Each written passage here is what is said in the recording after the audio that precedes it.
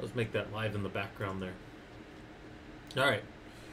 Yeah, hey everybody. We'll we'll give it a few more minutes to start, and uh, I'll go ahead and drop that over as well into the stream. I'll just go ahead and put it like this. That's fine. You guys can see me. That'll be fun. All right. Get that stuff out of the way. Uh, you guys should be able to hear me. Uh, Rob Dom, give me a thumbs up if you can still hear me over there. I think you guys should be able to hear me. Yep. Okay, good. Good, good. Oh, you guys should be able to play sounds too in Discord. You guys know how to do the sounds right at the bottom. You got the little musical.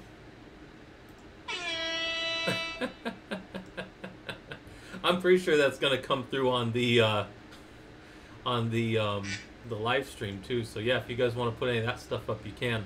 All right. Uh, people online are probably like, "What the hell is this guy talking about?" Uh, we've got Discord. We're in there talking shop, and uh, we are doing the uh, professional Linux users group. This is like kind of our normal meeting time, but I'm also going to uh, show it on here for people on Twitch that just refuse to get on Discord. so if you guys want to troll me on Discord with claps and, and duck sounds and stuff, you guys can certainly do that. Also, made even funnier by the fact that I really can't see my Discord right now on my on my monitors that I have up, so that's kind of funny. That'll be for my jokes when my jokes don't land. All right, uh, one more minute and we'll get going. And uh, again, this isn't like I don't really save these vods off ever, anywhere, so uh, if anybody is interested in this, I'll do a more closed down version and uh, and I'll record it and put it up somewhere, kind of like I did with the high performance compute stuff. So that'll be uh, something available to you guys that want that. All right, give it about twenty something more seconds. I'll go check on Discord in case anybody's got any things. Yeah, yeah. Now you guys got all the sounds. I thought I really thought there was a womp womp. That'll be for when my jokes don't land. How's that? Uh, and I don't know if you guys can hear that back in through Twitch, but that's funny. All right. All right. And then uh, after this, um, in the Phoenix area, we're doing a, a, a, meetup. Not a meetup. It's not a real meetup, but it's um, we're going to be doing a uh, like a game night tonight. So some of my friends that are more gamers are going to come over. We're going to do some gaming. And if not too many people show up, we're just going to go to a game store and look at retro games and stuff. And um, for you guys that know me, I have quite a few, like a, a, probably an unhealthy amount of uh, board games and stuff. Some of you guys have seen the pictures of my board game wall at home and, and in my board game room. Um, and the wife built the shelves for that. Her and her dad put together some really nice shelves. All right, well, let's get to it. I don't want to burn up too much time. Normally, the first few minutes of the professional Linux users group that meets on Saturdays, we would kind of just talk around and see what's going on. We'll skip that today because everybody's here for the networking primer. I'm just going to kind of brain dump for a few hours on stuff around networking. I'm going to pull up some stuff. We're going to be looking at Wireshark.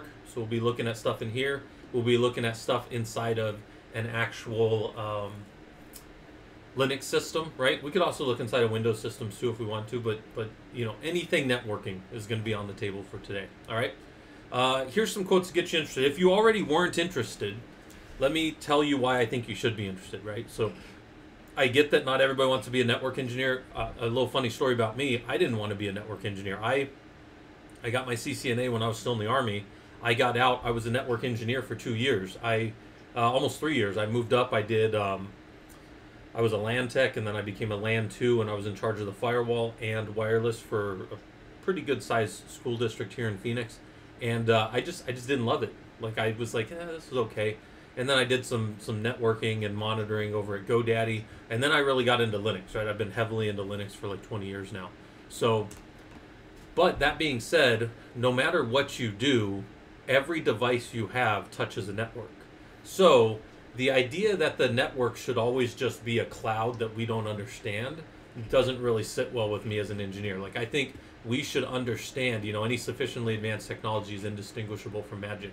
We should not think of everything happening magically. We should have a way to go and understand it. Okay, so we'll talk about the um, the types of computer problems. Right, this is just some XKCD jokes. I think XKCD is great for engineers to reference because they have some really good stuff, and um, we're going to talk about, you know, why do you want to know these individual pieces? Well, there's a lot of good kind of engineering knowledge uh, that will help you troubleshoot things. It'll help you in your, uh, I guess, probably ability to just kind of grasp what's happening in a network and stuff like that.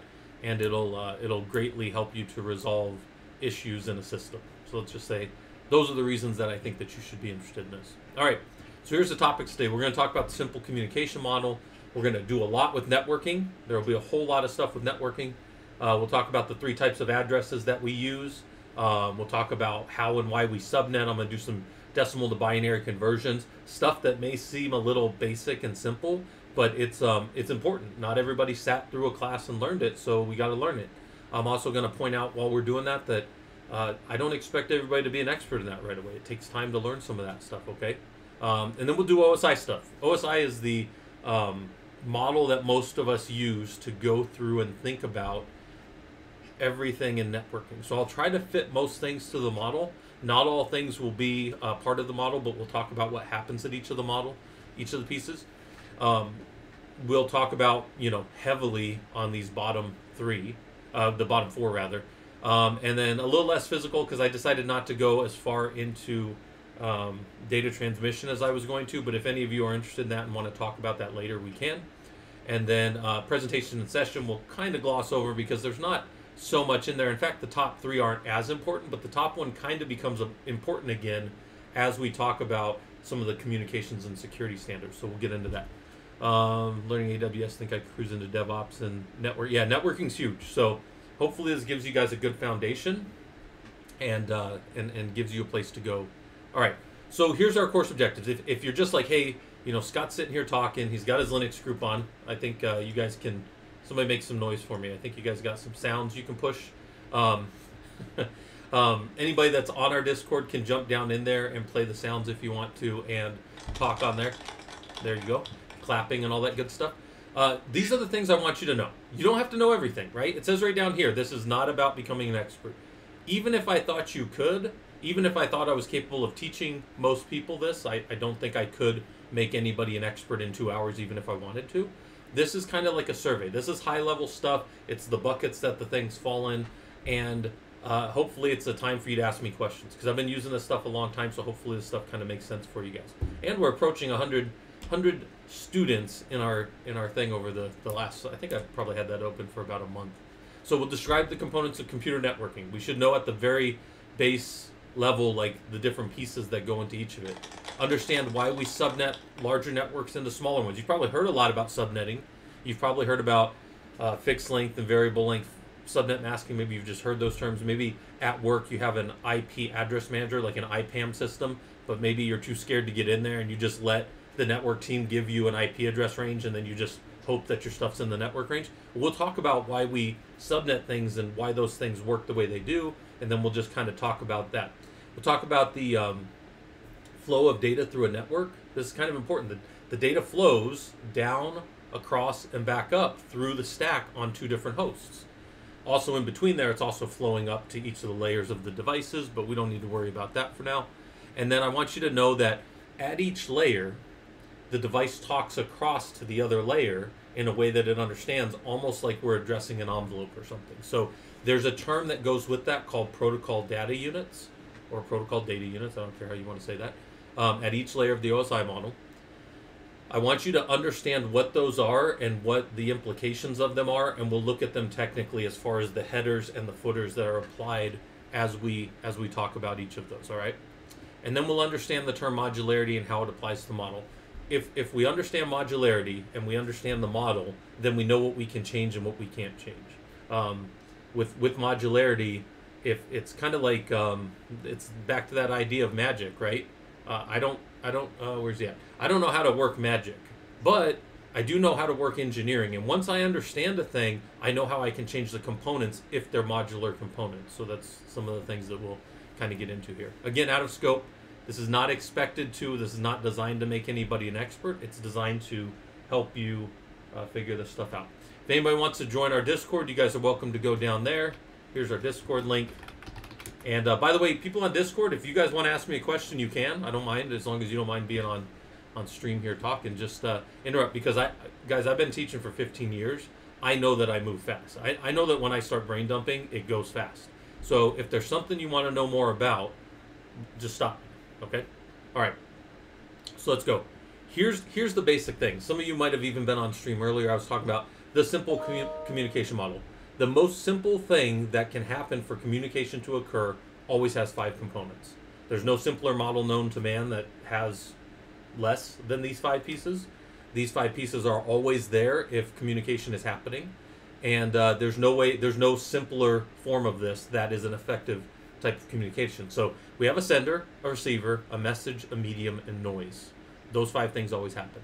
The sender encodes using a protocol. The term protocol means the rules that govern communication. That's all it means. It's a simple term that extrapolates out into the rules that govern communication. So if you hear me say protocol or you hear somebody else say protocol, they they're they're using it as like a wrapper around the way that communication happens. So if you've ever heard that term and just been like, man, why does everybody talk about the protocols? That's what it is. It's it's the the rules that govern communication. We have the sender. It's going to encode a packet by some protocol to be transmitted across a medium.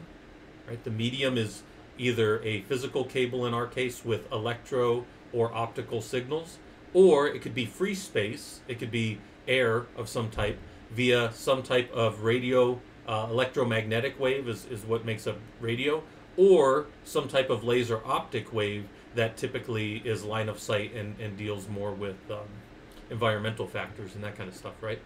Uh, there's a message again that's encoded. It's traveling across the medium, and then despite our best efforts in all the world, we will always have noise.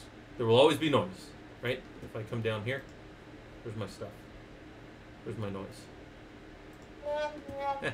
There's always going to be noise in a system. You can't get rid of it. So these these five pieces are always going to be there. So if we can understand the, the individual parts and what's going on in here, it's going to help us to do communication. Uh, I m- mentioned this earlier today. There's a there's a sixth one that's required if we're doing what's called effective communication, which is a feedback loop. So something is being sent back to let the sender know that the receiver heard. That's a that's a different concept. The simple communication model is these five pieces that'll always be there. All right. So let's talk about some fundamental terminology. This will be like level setting. Some of these things you're going to see again. Some some of these things you're not.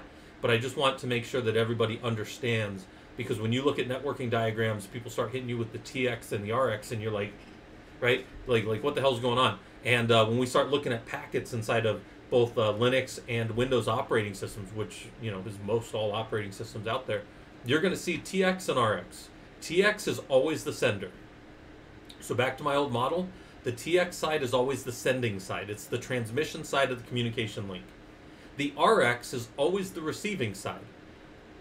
Makes me think, I, I probably should have added simplex, half duplex, and full duplex, but that's fine. We won't worry about that level of, of lower communication. But there's always a sender and a receiver, right? That's how we talk about them when we get up into uh, wide area networks and, and specifically around um, networks that we don't control, right? We talk about systems in our control as being autonomous systems. And AS is an autonomous system. I control my network at home. You control your networks. The, the ISPs between us control their networks. That's known as an autonomous system, okay? When, when we meet with one of those, um, those systems, right, that's typically called a wide area network there's there's a there's a lot of ways that we can determine what's a LAN and what's a WAN. But one of the best ways in an organization, from like a company standpoint, in an enterprise, is the LAN, the local area network, is something you've bought and you own, and it's a sunk cost, and you're just paying to keep the electricity flowing to it. A wide area network is something you lease, typically. It's something you lease, and you will never own it. You are always just going to be leasing that circuit from somebody else. Now, that's a very high level determination of those things, but that's a that's a good one that's kind of good to know. All right. Now when we talk about the interface from the WAN that we don't control through the LAN that we do control, now we're talking about how do we connect. And typically you'll have some kind of data circuit equipment and data terminal equipment, right? Data circuit equipment is typically on the vendor or the ISP side, right?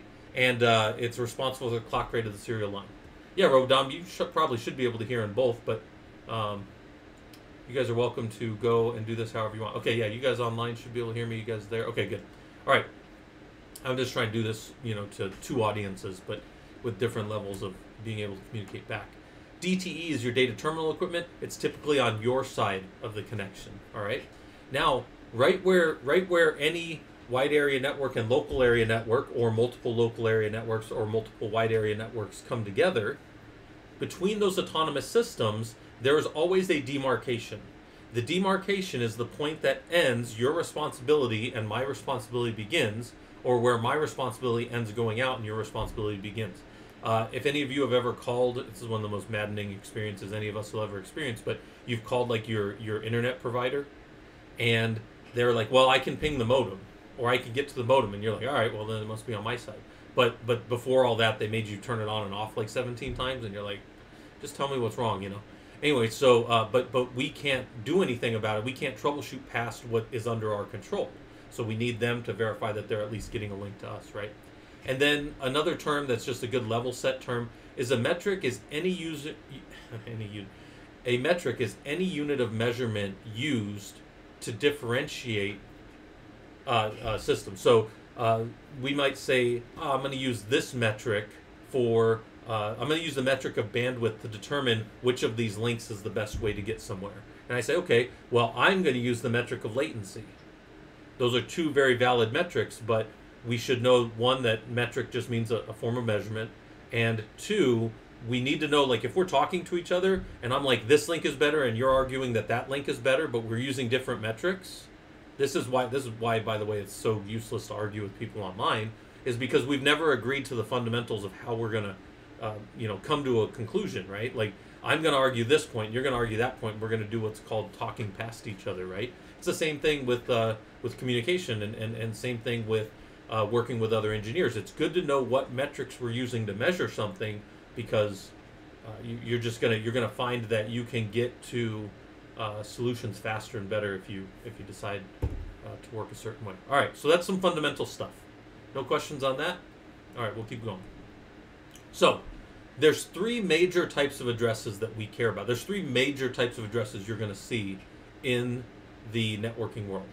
There are probably a few others, but the three primary types you're going to see as a systems engineer, as a network engineer, are these right here. At layer 7, you're going to see DNS addressing most of us have probably used DNS addressing. Maybe you came to Twitch. Maybe you've uh, gone to some, you know, Code Wars or something like that. We got a little Code Wars battle going on in the Discord, so that's kind of good. Um, but DNS addressing is the mapping of some readable name to an IP address. It can be an IPv4 address or an IPv6 address. We're going to break those down here in a, in a little bit. But it is our way of remembering. I can remember Google real easy. I have a little bit harder time remembering that. I may be able to remember that for a few days, but I can't remember Google and Yahoo and MSN and you know Twitch and Amazon and all those like that. It, it, it just gets to be too much, right? So DNS addressing is the way that we map uh, human readable uh, addressing, right? IP addressing is a logical hierarchical addressing that happens at layer three that allows routers to do path determination. Routers do two things path determination and packet switching. Path determination is based on your IPv4 or your IPv6 address. Routers will make a path determination out of their routing table to where things are going. And if they don't know what to do with a packet, they will send it on to their uh, gateway of last resort or what's sometimes called a default gateway. However, this is a little fun fact about Cisco that not everybody knows unless you've done a lot of Cisco. If a Cisco device does not know what to do with a packet, it simply drops it on the floor. And you might say, oh, I've never had a Cisco device do that because you've always set the, the gateway, gateway of last resort or somebody has set that for you. But I assure you, if you don't have a gateway of last resort or a way for your device to send something to, like, hey, I'm going to phone a friend, I'm going to send this to another device, it will drop it on the floor every time. That's the behavior of Cisco devices. Behavior of most networking devices, but Cisco's kind of painful when it happens, right? And then the one that, you know, you're not going to use much, you're not going to play with this much and see it, but your system sees this all the time, is MAC addressing. So uh, I didn't go too much into IP addressing because we're going to break that up ad nauseum later.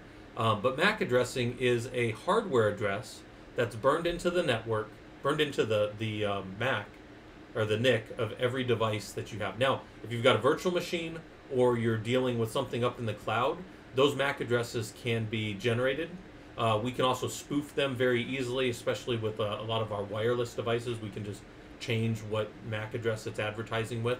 But the thing about MAC addresses is that all of your devices see within certain rules of how uh, forwarding and, and uh, broadcasting happens, they see most of the other Macs that are on the same network segment with them. So they see all of that that's going on. And they use a tool called ARP, Address Resolution Protocol, to figure out and keep ARP tables, Address Resolution Protocol tables, of what's the mapping of the IPv of the um, IP address, or in this case the, the host name, with the hardware address that is known to it locally. Yep, some people like the please do not so- throw sausage pizza away. When I get to those layers, uh, we'll talk about them a little bit, and then I think when, as you do more of them, you will probably less use the acronyms, but the acronyms are great when you first start.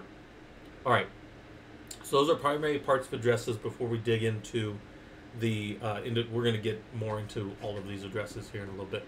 All right, uh, so let's do a quick binary rundown. If you guys have never done anything with binary, I'm going to show a little bit of this. People that came on earlier when I was kind of like running through this and, and prepping the last little bit, I, I did draw this up a little bit. But let's do some, some binary information around the IPv4 stuff. Like this is the stuff that a lot of people struggle with. But allow me to give you my 10 to 15 minute primer that I think makes this work uh, the best in my head. I'm just going to draw three lines right here, real quick. And on those three lines, I'm going to draw some numbers. All right. Now, can anybody tell me what that number is? What like what does that equal? While you guys think about that or what that answer might be, I'm going to draw some stuff over here. King Bun said 579. That's true. See if I can count to 10 on stream. All right. Well, what this is is a numbering system we've all used many times. You Moon, you're not. That's not wrong, right? It's not wrong. But let's think about something. Some of us probably learned this back in like sixth grade. I'm just going to step you back for a second.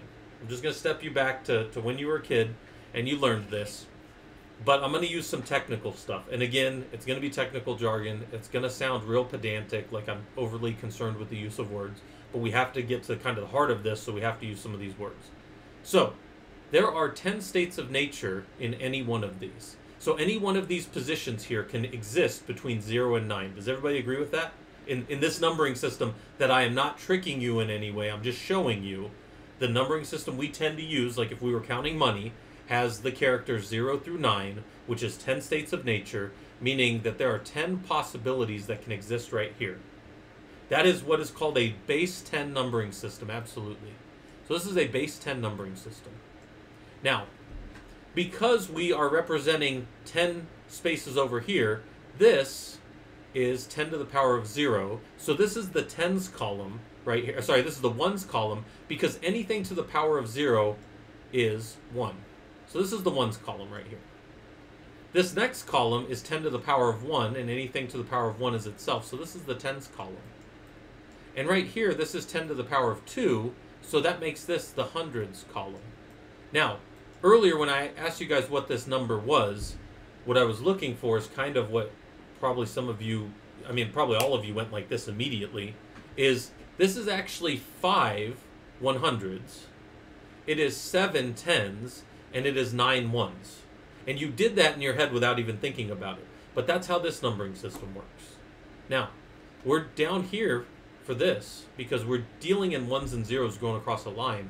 The numbers we allow for that are 0 and 1. We only have a 0 or 1. There's only two states of nature. There's two states. You can only be you can only be a 0 or a 1. Those are the only options you have. So if that's the case, now 2 to the power 0 is the ones column, because 2 to the power 0 is 1. 2 to the power, yeah, yeah, 2 to the power of 1 is itself, so that's a 2's column. 2 to the power of 2 is 4, 2 to the power of 3 is 8. That's where these numbers come from. They're not made up. It wasn't like some guy that just knew math better than all the rest of us said, that's how we'll do binary. All right, so now since we're looking at this and it's 8-bit, it's called 8-bit because there's 8 bits to each of these. dotted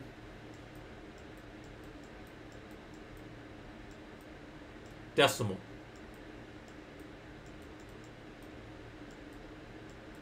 Eight bit dotted decimal. I know it's hard to read, but eight bit dotted decimal is is what we're looking at here. So each of these represent eight bits. So we have them all down here. So if I told you that all of these were set to zero, what number do we think we'd have down here? We'd probably have the number zero.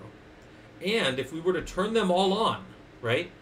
Uh, the states in base 10 are the number 0, 9 were there too. Yeah, that's absolutely right, Moon. Absolutely. If we were to turn all of these on, there's a little trick we can do here. It's 128 plus 127 because 128 on plus all the numbers before it can only add up to 127. 128 plus 127 is 255. So everything that can be represented in these numbers is 0 to 255, which is, by the way, why you have between 0 and 255 in any of your locations on your uh, IPv4 32 bit, uh, and again, an 8 bit dotted decimal format uh, presentation. So let's look at this real quick. I'm going to do a little bit more with binary around addresses. Let's say 192.160. 192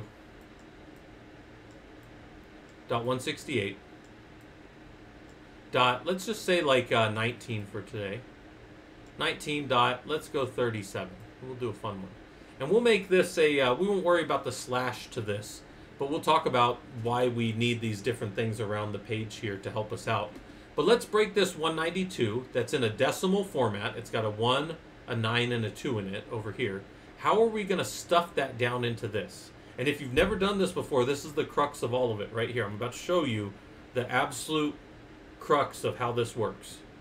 We're going to take that 192 and we're going to ask ourselves, starting from the left, does it have a 128 in it? Can I represent, out of a 192, can we fit, can we extract out of that, squeeze out of that a 128? And the answer is yes. So we're going to turn that bit on. That's the 128's place.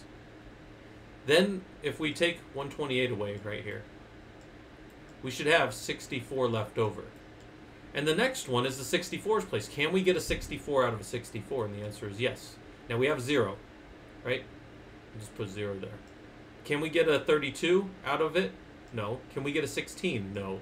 Can we get an 8, 4, a 2, or a 1? And the answer in all of those is no, we cannot. So let's do it again. Let's go to 168. Can we squeeze a 128 out of there? Yes. So that's right there because it's in this section. So then we've got 40 left over. Can we get a 64 out of 40? No. Well, we've got 32. Can we get a 32 out of 40? Yes, with 8 left over. So can we get a 16? No. Can we get an 8 when we had 8 left over? Yes. So we got nothing left. So there's no 4, there's no 2, and there's no 1. Now, if you've never seen that before, that's how that works. Now I picked this one because it would be a little more challenging. Is there a 128 and 19? No. Is there a 64? No. By the way, if you get lost, that's where I'm picking them from. Is there a 32? No. But there is a 16. But now there's no 8. There was 3 left over. There's no 4. But there is a 2 and there is a 1. So that right there is the digital representation of 19 when you were dealing with 8 bits. Now let's do 37. Let's look at 37 real quick. 37 has no 128s. It has no 64s. It does have a 32 with 5 left over, which means no 16s, no 8s, but there is a 4, which means that we have one left. One right there. So we just broke 192, 168, 19.37 down into its binary. Now, there's a few more things we got to talk about that make this kind of mapping that I have here complete that are going to go into IPv4 addressing a little bit and hopefully assumes that you have a little bit, right? This isn't a bare beginners type thing, but um, let's look at this first octet here. There's a 192 in it. To determine what class we're dealing with, there's there's five classes typically. There's a class A, B, and C that you'll see all the time in this world. Then there's a D that you will not see often, and there's an E that you will very well. You'll see E, you'll see D more than E. E will very rarely ever be there. But if I look at this and I tell you that the rule right here in this first octet is that it falls into one of these, can anybody here tell me if this is a class A, a B, or a C network? by looking at this first octet 192. If it's between 0 and 127, it's a class A. It's 26, but uh, if it's a class B, it's 128 to 191. And then if it's a C, it's 192 to 223 in the first octet. So do we know what class this is? It's class C, right? It's class C address because the first octet is right there. Class C address has 24 networking bits. There's two portions to an address. There are the network portion, which in this case is the first 24. So there's 24 network bits.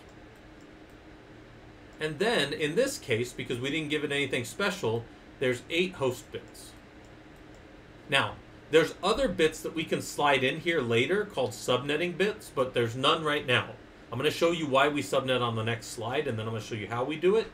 But let's just look at this for a second and look at some more of these rules. We've already used this right here, so we're checked on this, and we've used this to determine uh, the network and the host portion, which is left over.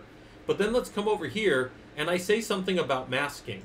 I say that n bits are ones, subnet bits are ones, and host bits are zeros. So let's go up here to network bits. All these network bits are ones for masking. So my mask is down here. There's my IP. Here's my mask. And go like this, a bunch of ones, because that's the rule. Network bits become ones. There's 24 network bits, so here we go. And then I said that host bits become zeros. I don't have any S bits here, so these are out for right now. So there's no host. Uh, so in host bits, they're all zeros. Those zeros look like ones. All right. So there's all zeros. So now we convert. So somebody says, can you take this address and tell me from the default what the subnet mask is? And I say, yes, I can. Didn't we determine earlier that if these were all on, then we would have the number 255? Hey, Johnny man, how's it going? We got 255 right here, so all the bits are on. We've got 255 here. And then we got 255 here. Dot zero. So if if somebody was programming a 192.168.19.0 network into their system, like you were putting it in, like if I went and looked at my my Windows stuff right now, or if I were to go program this in as a subnet mask on, uh, let me just close this real quick. If I were to go here and cd to etc sysconfig network dash scripts, and then I just uh, more my if cfg dash eth zero, you would see that it's 192.160.11.245. That's my address here. That's my host address. And my net mask is the same one we just did. 255, 255, 255, 0 with some gateway, right? And then that, when we go look at it, is that's exactly what we have here 255, 255, 255, 0, which means that we have a network, a big network over here of uh, 0 to 255 with usable hosts, and we'll talk about why we can't use the 0 and the 255. It's 1 to 254 are the usable hosts. And, and you say, why can't you have 0? Well, 0 is the network identifier, so that one gets tossed out. And 255 is the yelling. I want to yell at everybody, and that's going to be um, that way. All right. So we touched that, we touched that. We'll do the, the hosts and the subnets here, these equations on the next set of slides. But let's go through it. I also left all these so that if you have to do any calculations up here, you don't have to go write them all out. I, I did the first 16 for you, which will help us with pretty much anything we might want to do. All right, so we, we, we understand a quick binary rundown. This is this was quick. This was about as quick as I could do it, but hopefully that showed you how decimal works because you've probably used decimal your whole life and that was easy. But then we compared that to binary and that probably was real easy to then see. And then we converted between them and this is a thing that again, you know, I'm, I'm not going to be, you know, I'm not to be like one of your uh, teachers when you were a kid and say, "Ah, oh, you're never going to have a, a, a, you know, you're never going to have an IP subnet calculator in the real world." And you're like, "I'm always going to have my phone on me, so I'm pretty sure I will." That's not the point. The point is, can you understand these things so that you can pull the proper size network that you need from an IP address management tool? Yeah, there's there's tools out there that do all this crap for you, but you still have to know what you want, and you still have to know how to ask that. So, all right, so let's that part's done, but don't worry, we're gonna come back. So if that was uh, if that was rough in your head, we'll go and we'll come back and we'll do some more of it. All right. So why do we subnet?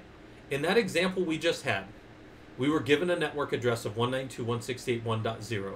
With the slash 24, that means that the 192.168.1 is the network portion. We cannot change that. That might as well be set in stone written on granite tablets and given to us. The only thing we're allowed to do is use the 0 to 255 in this last octet. That's the only thing we're allowed to do. They're called octets because there's 8 bits in each. Again, the 0 gets thrown away because it represents the address space. And the 255 gets thrown away because it's how we yell at each other.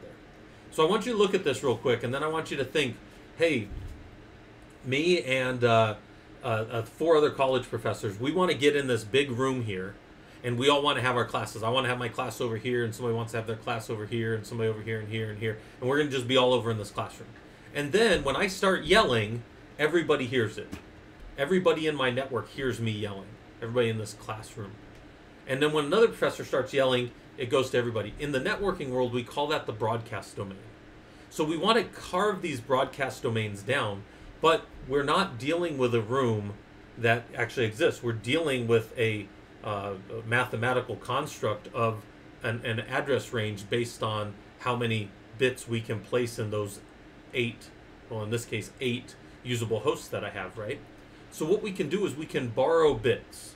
And when we borrow bits off of this, we're going to take one of these that we had earlier. So these were all host bits. We're going to borrow one and we're going to turn it into a subnet bit. Basically, we're going to cause it to be hardened down as a network bit that we can no longer change. And then it's going to subdivide our networks that we originally have. And it's going to look like this when it happens. We're going to go to a slash 25. So we're going to borrow one bit. When we borrow that one bit, we now have a 0 or a 1 in that far left 128th column from earlier. That's going to cause two networks to exist. It's almost like we put one of those big dividers up in one of those like big ballrooms or something. If any of you guys have ever been like in a convention center and they can pull the walls out and, and split the rooms. And in those rooms, now, in this case, the 0 is the network identifier of the first network.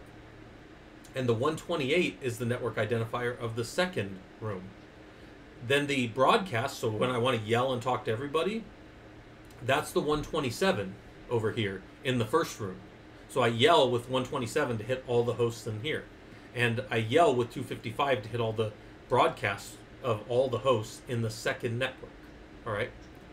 So that makes the two networks exactly half the original size if we borrow one bit. But what if we need to carve this room up more? Well, we can actually borrow another bit. Now, once once somebody in your organization, I always talk about like some senior architect or some engineer that you don't know carved this all up before you get there because when you're a junior engineer, you're probably not going to be carving up your network. Somebody else will. But you still have to be able to look at them and go, okay, I have a slash 26, which means from my original 192.168.1 slash 24 that I've carved up four individual networks that are between 0 and 63, 64 to 127, 128 to 191, 192 to 255. When I want to identify these four networks, when somebody comes and says, hey, you've got a 192.168.1.0 slash 26, I immediately know somebody carved two networks off of it because I know it's a class C and I know that slash 24 is what it originally was. Then I can look at that and say, okay, in those columns there was a 00, 0, 0, 01, a 10, and a 11. We'll see that here in a little bit. And that means that 0, 64, 128, and 192 are the four network identifiers. Then somebody might say, and what's the broadcast address of all four of those? That would be 63, 127, 191, and 255. And then when college professors like to get sneaky, they'll say, what's the usable host range of the third network? That would be 129, so one higher than the network, to 190, which is one less than the broadcast. That's all it is. And then maybe we borrow one more network. What does one more network look like? If we borrow one more bit, now we have 192.168.1.0 slash 27. So we've got three network bits. And uh, yeah, you know what, Quartz, I've been teaching this a long time, and everybody that I show this to says they like it. And that, that table that I use, by the way, that table's up in the Discord if anybody wants it. I'll also post the individual table if anybody wants it. I think it's the best way to work through and learn these if you want to. All right. So now look, we've got eight networks. We've borrowed three bits. So in those first three places, it's 000, 001, 010, 011, 11, uh, 100. I'm not going to go through all of them, but it's 0 through 111, so 0 through 7. And in, in, those, in that case, on the far left. And now this is how it breaks down the networks. So I'm going to take this exact example right here and I'm going to do this. So so I just want anybody that's watching this that wants to learn this and said, hey, I, I got it a little bit before, but if you show me again, I'll really stick it in my head. I want you to look at this for a second, and I'm going to show you mathematically how we do this. Okay? Is that fair? Is that fair to everybody? Okay. Now I want I want you to do two other things real quick. I want you to look at and see that there's 30 hosts per network. So there's 30 hosts in here and 30 hosts in here. You say, Scott, how do you know that? Well, I can't use zero and I can't use 31, which would have allowed me 32. So I have 1 to 30. So I want you to remember that. There's 30 hosts per. And I want you to remember that there's 8 rooms. If you guys can remember that, write it down if you want. 8 rooms, 30 hosts per. All right, let's go do let's go do this again. And I ask all the questions. This is the exact there's there's nothing different between these two slides once I explain them to you. Okay? So this one here is how we carved up the room. This is how we're going to do it mathematically or mathemagically. But remember I said earlier for people that got here earlier, I said everything is magic until it becomes explained to you, and then you're like, oh, that's it. That's that's what everybody was all. That's what people get paid a whole bunch of money as network engineers for. Yeah, this is it right here. I'm showing you. This is it. 192. Dot 168. Dot one. Dot zero. Slash 27. Let's play all the game that we did earlier again, just for practice. 192. I'm going to squeeze it down into into binary so I have it in my hand. 128, yep, got that. 64 is left over, yep, got that. There's nothing left, so that's it. That's that's everything there. And I'm coming down here to look. So we'll do this one the way I normally do. 168 has a 128 in it. Yes. There's 40 left over, which is not a 64. But there is a 32 with 8 left over, which is not a 16. But there is an 8 and an 8, so there's that. And then it's 0, 0, 0. All right. 1 is really easy. It's just this one over here. There's no 128s, no 64s, no 32s, no 8, uh, 16s, no 8s, no 4s, no 2s, but there is a 1. And then these are all zeros all the way out, but I'll just leave those empty for now. I know it's a class C, so this is how it was originally broken down. I always draw this first line. That's 24 network bits. 24 n. And if I want to right now, I can come over here and say, well, network bits are ones. So the hardened part of this network that cannot be changed is 192.168.1.0. And the subnet mask that I was given by default was 255.255.255 dot zero. But somebody in my network before I got here borrowed three more bits. One, two, three. So I'm going to draw another line like this. It's going to be a dotted line because somebody in my network carved this. Now this is still the 128s, the 64s, and the 32s place. Does everybody agree with that? But now I'm calling these subnet bits. So it's an S bit, an S bit, and an S bit. This is just what we were just looking at a second ago. Now here's our host bits. Host bits are what's left over. Okay? Now, subnet bits get ones right here, and host bits get zero. So I go one, one, one, zero, zero, zero, zero, zero. Now I got to convert this net mask back. So I got to add 128 plus 64, that's 192, plus 32 is 224. So my subnet mask for this network, somebody might ask you this question, 255, 255, 255, 224. I don't think anybody's ever going to ask you that on the street. I'm just saying, like, mathematically you might get asked this as an engineer one day, right? But now let's look at these subnets real quick. This is this is where you're going to go, aha, that's where he made those numbers up from. I assure you I did not make these numbers up. I'm about to do them right now. Watch.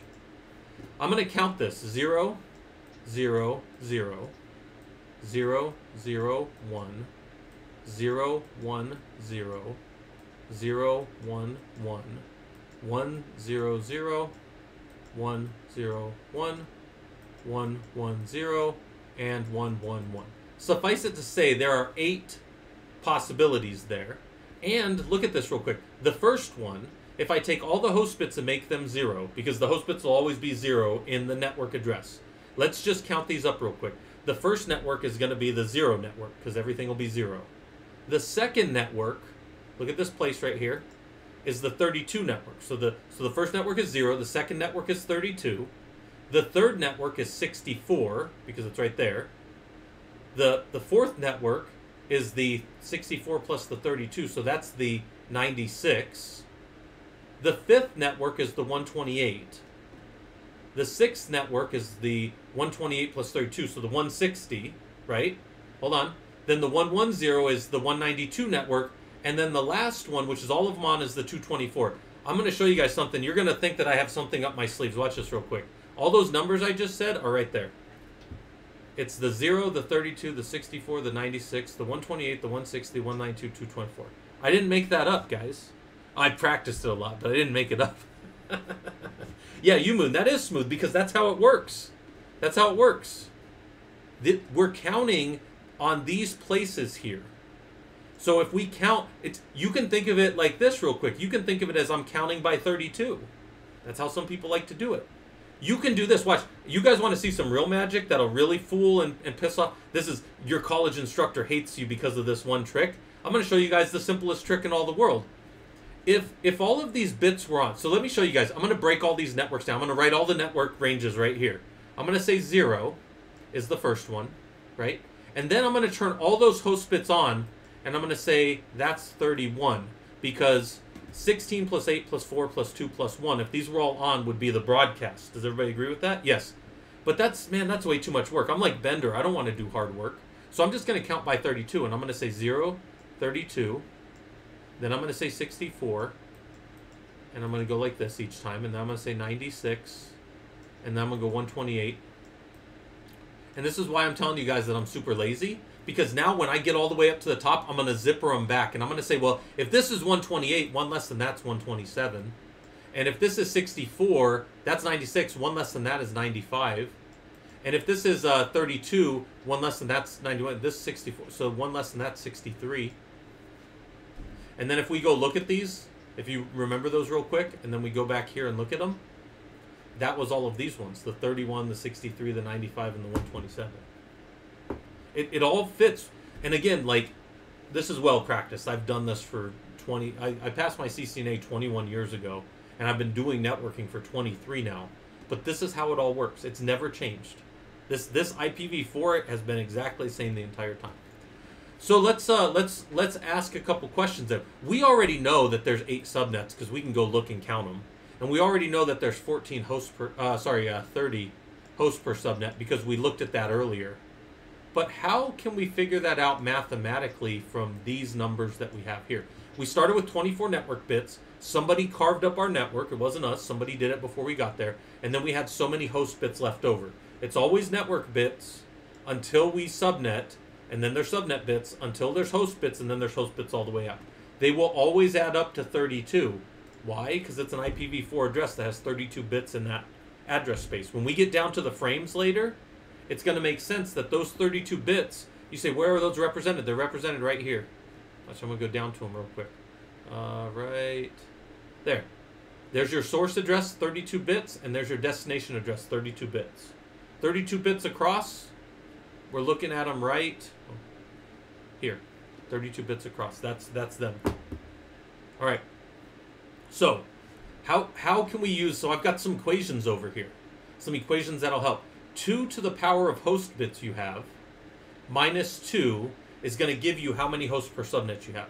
Now, I did I told you guys I'd make this easy for you. I've got a table over here. So 2 to the power of 5 is 32 minus 2. Why are we taking 2 off? Because 0 is the network. The, the, all zeros in the host bits are the network and all ones in the host bits are me yelling at everybody with a broadcast. So I take those two off, and that defines the 30 usable hosts in that range. So how many hosts per subnet? There's 30 usable. We saw them vis- we saw them visibly, and then now we just saw them mathematically how we how we count them, and then we can either count these up 000, 000, 001, 010, and see that there's eight, or we can know that if you've got two to the power of three, one, two, three, you've got the number 8, and that's how many subnets you have.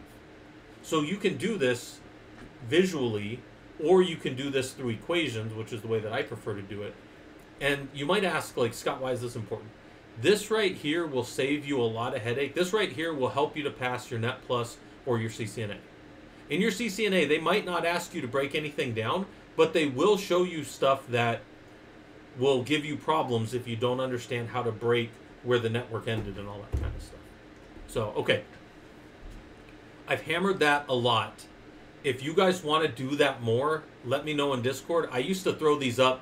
I used to throw these up like challenges every now and then, and I'd tell you guys to figure them out and send them back to me. And if you go look in our networking topics, you'll see some of them still. But I will uh, I will always use this basic template right here for any problem. It's like the movie Gladiator where he's like, doesn't matter what comes out of that gate, if we stick together, if you stick with this model, it does not matter what IP address range you throw at me and what slash subnet mask you give me. I will figure it out every single time. And uh, that, well, you know, that's not a challenge, but if anybody has one they want me to work on, I'll, I'll work through it and show you. But we'll do that here in a little bit, all right? And there's our Discord if anybody wants to hop down in there. Um, we got people down there. Now, we talked about the OSI model. Let's hit some of the basics of it. There are seven layers. It compares with the original TCP IP model that the DoD put out, but I think that the OSI model is better for teaching it. That's that's my mind. There's two primary reasons to learn the OSI model. One is to, to teach it and to learn it. Uh, there's this old, old, old African saying, "What's the best way to eat an elephant?" And uh, the answer is one bite at a time. So the best way to learn this is to just take each individual little bite and figure it out. So there's seven layers: application, presentation, session, transport, network, data link, and physical. Physical is one, application is seven. Generally speaking, from a networking perspective, we don't care much about the top three, just so you know. Uh, gotta get some. Yeah, move, move. I appreciate you coming by. Um, keep keep uh, working on this stuff. And again, if any of you guys want to work on this and keep it like keep this stuff fiery hot, let me know, and I'll I'll give you examples of it on on Discord. I can do that every day or every couple days if you want. Up here, we're just dealing with data. This is why a lot of times for us engineers, this isn't super interesting up here. But then when we get down to the transport layer, we take that data that's coming down and we catch it as a segment and apply a header to it. The header is one of either a TCP or a UDP header, generally speaking. There's some other things that can happen, but TCP or UDP are the two primary protocols that happen at the transport layer to move data around our network. We're going to get into that here in a little bit. But there's only a header applied at this layer, so we only put it at the front of the data. Then we take all of that. This all I could draw. I should draw little lines here. Hold on. Let me let me get rid of all this, and I really need to show this. All of this becomes the data that goes into a packet, and the packet gets a little header written on the front of it. And that packet is going to be an IP header on the front of all the data. So all this data got squished down into this segment, and then a header was added, right? And then all of this came down and got put in here, and a header was applied. And then down here, we took all of this and squeezed it down into a frame, and we added a header, and only in a frame do we add a trailer, or some people call this a footer. It's not wrong. It's a trailer or a footer that's added. And then those all get broken down into bits as they traverse the physical network to go to the other side. So let's look at that real quick. Here is an OSI model data flow between two systems, right? This is going to be system one over here on the left, system two over here on the right. And as the data flows down from your application layer down to presentation, uh, we're going to talk about what happens at each of these as I go through all this primer. Uh, at the transport layer, we add a header that header talks directly to the transport layer on the other side. You can think of it as like uh, you're writing a pen pal to your transport layer on the other side. Then the network layer puts an IP address on there and it adds some other stuff in here that we're going to look at in a little bit. And that talks directly to the network layer on the other side as well. Then it gets packed down into a frame and that data link, that frame sends over, and that frame is really only understandable by this side over here. So each layer talks directly across to their other layer on the other side everything that I show you that we do on one layer, we undo on the other layer to get back to the data that's going to be used higher than the application layer. Okay. Down at the physical layer, we simply send a flow of bits across whatever medium we're going to send it across. Again, medium is the singular of media. There is no such thing as medias unless you're talking about like multiple media, like like in a like a American media or something like that, I guess. But media is already the plural of medium, so you don't have to add an S to it really ever. But okay, we're sending data down, we're sending stuff up. I'm going to demystify all this. Every other bit of this presentation, aside from a couple of things that outlie and, and, and, and stand over multiple, is going to be directly related to this flow. All right. Hey, Twisted Seed, we're doing something down in the Discord, but we're also doing it up here. People in Discord, you guys can send me messages, you can emote. I'm not really reading the Discord chat, so if I miss any of it, I apologize, but feel free to, um, you know, text me or, or send me your um, little womp womp and music stuff like that. That won't bug me. Actually, I think that'd be funny. But anyways, all right, so we got this. And uh, this is going to be the flow that we look at really for the rest of this. So let's talk about some layer 7 concepts. What's happening at the top layer? Because, again, remember I said earlier, as network engineers, we don't really care about what's going on here as much. This is less interesting to us. However, as systems engineers, we do care about the application layer quite a bit. And then we care about transport network, data link, and physical. Presentation and session, there's not a lot to troubleshoot there, but I'll show you guys what's going on in there, and we'll see how we can see what's going on with it. But uh, that's that's going to be very, very much glossed over, like pretty much everybody does. There are things to consider in these areas, but but not so much with us um, on the engineering side of things. All right, so what's happening at layer 7? Well, at layer 7 we have HTTP. Now, you get a port with HTTP, but ports don't really come in until you're down at the transport layer, so don't worry about that too much. HTTPS is port 443 typically, and DNS is port 53. However, when we get down to the transport layer, we're also, also going to discuss how they can be TCP or UDP in each of these. So uh, it might be common to think there's 65,536 ports that can be connected to on my system, 0 through 65,535. That's actually not true because you have to double that because there's both TCP and UDP designation of those ports. So where like DNS is port 53 and you say, ah, oh, is it TCP or UDP? Well, DNS is one of the few ones that actually operates on both. And uh, by the way, if you want to test that, go to a Kubernetes cluster and only allow one or the other through a network policy. You will break your stuff almost swore there, but yeah, you will break your stuff really bad because it won't walk. It, it won't work because you need both. All right, common devices that happen at layer seven that we care about: web application firewalls, WAFs, reverse proxies, or what are commonly referred to as load balancers. That's real big for us that want to keep like site reliability engineering and we want to have like seven devices back here and we want to abstract that with a reverse proxy we're going to look at that a little bit and then next gen firewalls so web application firewalls and next gen firewalls are different approaches, but they're both things that are important to understand. And they, they tend to fall in layer seven, although they do kind of touch a lot of the different stuff. So let's let's break those down a little bit.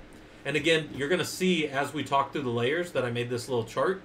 This chart is made from here, but then I uh, I just colored it on each one. Yes, I painstakingly made it for everybody. Good. All right. So proxy just means on behalf of. Almost all of you have probably used a proxy, maybe a VPN proxy or something like that. A proxy acts on behalf of someone else. That's what the word means. So you proxy out to the internet, they don't know who they're talking back to, they talk to the proxy, the proxy gives it back to you. But we want to invert that. So a reverse proxy is really what we care about here. And a reverse proxy hides your back-end applications from the clients that are coming in. There's so many benefits to this we commonly call this load balancing because if I can take those clients and bring them in and then they don't know where they're going on the back end, I can send them to one to n number of back end servers. And when I do maintenance on those servers, I can take down a certain pool of those servers and bring them back up. And I with load balancers, I can do blue, green, and canary deployments and all this stuff that we talk about as engineers. I got a bunch of other talks on that. I even have some Killercoda labs that you guys can go do on those topics, right? If you want to see how a ver- reverse proxy works to give you high availability as you deploy applications and stuff. So would a regular proxy not hide the backend IP? It does, Umoon. It does, typically. It can. Well, okay, let's put this way. It can. In fact, if any of you guys have ever seen, if any of you guys have ever seen, there's a, a tool that's not really used much anymore, but it's called onion routing Anybody here familiar with onion routing? Been around a long time. Got compromised by the government, uh, the U.S. government, years ago. But what uh, what uh, onion routing did at a very high level was this one proxy was actually a chain. It would be like a ring of like hundred proxies. And what would happen is you would enter that proxy somewhere. You'd get moved around through a bunch of different servers that had de-identified you They would not keep any logs of, of, of you aside from your de-identification to be able to get back to where you came in. And then they would send you out to the internet for whatever dark web and BS you wanted to do. Then when you came back, you would come back through your de-identified chain to the one device that knew you. It would send you off, and then it would not have logs. So the onion routing was a really awesome early way that people really de-identified themselves from the internet knowing what was going on. However, probably back in I'm going to guess this was about 2015. It may have happened earlier. I don't know exactly when it happened and I don't do a lot with onion routing so I don't mind telling you this. But if you think anything you do on the internet is actually de-identified anymore, you're wrong. The government, the US government infiltrated the onion routing. There's there's actually some white papers on this if you want to go read them, where they found out that if they could at least control 60% of this, they're all anonymized servers. You could you could stand up an onion router right now if you want. But they found out if they controlled 60% of Tor, it's called Tor, yeah. Yeah, Tor is the the the onion router. They found out if they controlled 60% of the endpoints that, that no traffic would be de-identified to them anymore and uh, that's what they did. So that got compromised. That's why you don't hear a lot of those like those activists that um, uh, anonymous and those kind of guys that used to be real vocal and then they all shut up one day. Yeah, I don't I don't hear anything from those guys anymore. Um, but I'm pretty sure that they got told like if you don't stop, we're just gonna probably just go finish you guys all off. However you want to look at that. But that that was when Tor got defeated. Tor the Onion router got defeated when more than 60% of their endpoints were controlled and you can go look. There's there's white papers on that stuff out there, like actual academic papers discussing how that works. If anybody's interested with that, we're more concerned with the reverse proxy. I got a question. That's why I went off on that tangent a little bit. Yeah. So reverse proxy is us de-identifying our backend from the client, so the clients just come in. Oh, thank you for that, Twisted Seed. I always appreciate uh, people giving back. Anybody that got a uh, a gifted sub, make sure you guys uh, thank Twisted Seed. Um, by the way, guys, I do have a challenge uh, anybody, you know, you any of you guys that know me know that anything I get, I um, I try to put back into our community. We actually have a little Codewars challenge. Some uh, we have a fair amount of programmers in the Linux community, and some guys are trying to level up. If you can beat some of our senior guys down in the uh, in our Codewars account, who Fish, Fisherman Guybro runs that. If you can beat like our three, let's say our three main kind of guys, which is uh, King Buns, uh, uh, Fisherman, and and Sending Grounds you'll win a um, like if you can beat them in Codewars. I don't even know what that means, but if you beat them based on their definitions, I'm gonna do a um, what's it called? Humble bundle. I'll buy you a humble bundle. If you guys know what that is, Humble Bundles is awesome site. Anyways, all right. I don't want to get too far afield. This is proxy servers. We're gonna go into yeah, Robodom. Go go smoke them. That's what I'm telling everybody. Just go beat them. So all right. So let's talk about layer 7 firewalls real quick. I've got some uh, images in here. I'm going to link this up on Discord later, so if anybody wants this, you'll have all the links and stuff. But uh, Unified Threat Management is a defense in depth, multiple layers of security appliances that protect your system. That's typically what we mean when we talk about the term UTM. By the way, uh, I know people come and go during a um, Twitch stream, so let me, real quick, I'm going to pause right here. I'm going to go back up, show you guys what we're doing. We are going through here. Uh, we're going through these topics, right? It's just a primer on Linux. The goals are for you to understand the basics, to talk about some of why we subnet. We already covered that. Talk about the flow of data through the model. We talked a little bit about that. And we're not going to become an expert. We're just surveying everything. All right. Again, this presentation will be there for you guys that want it.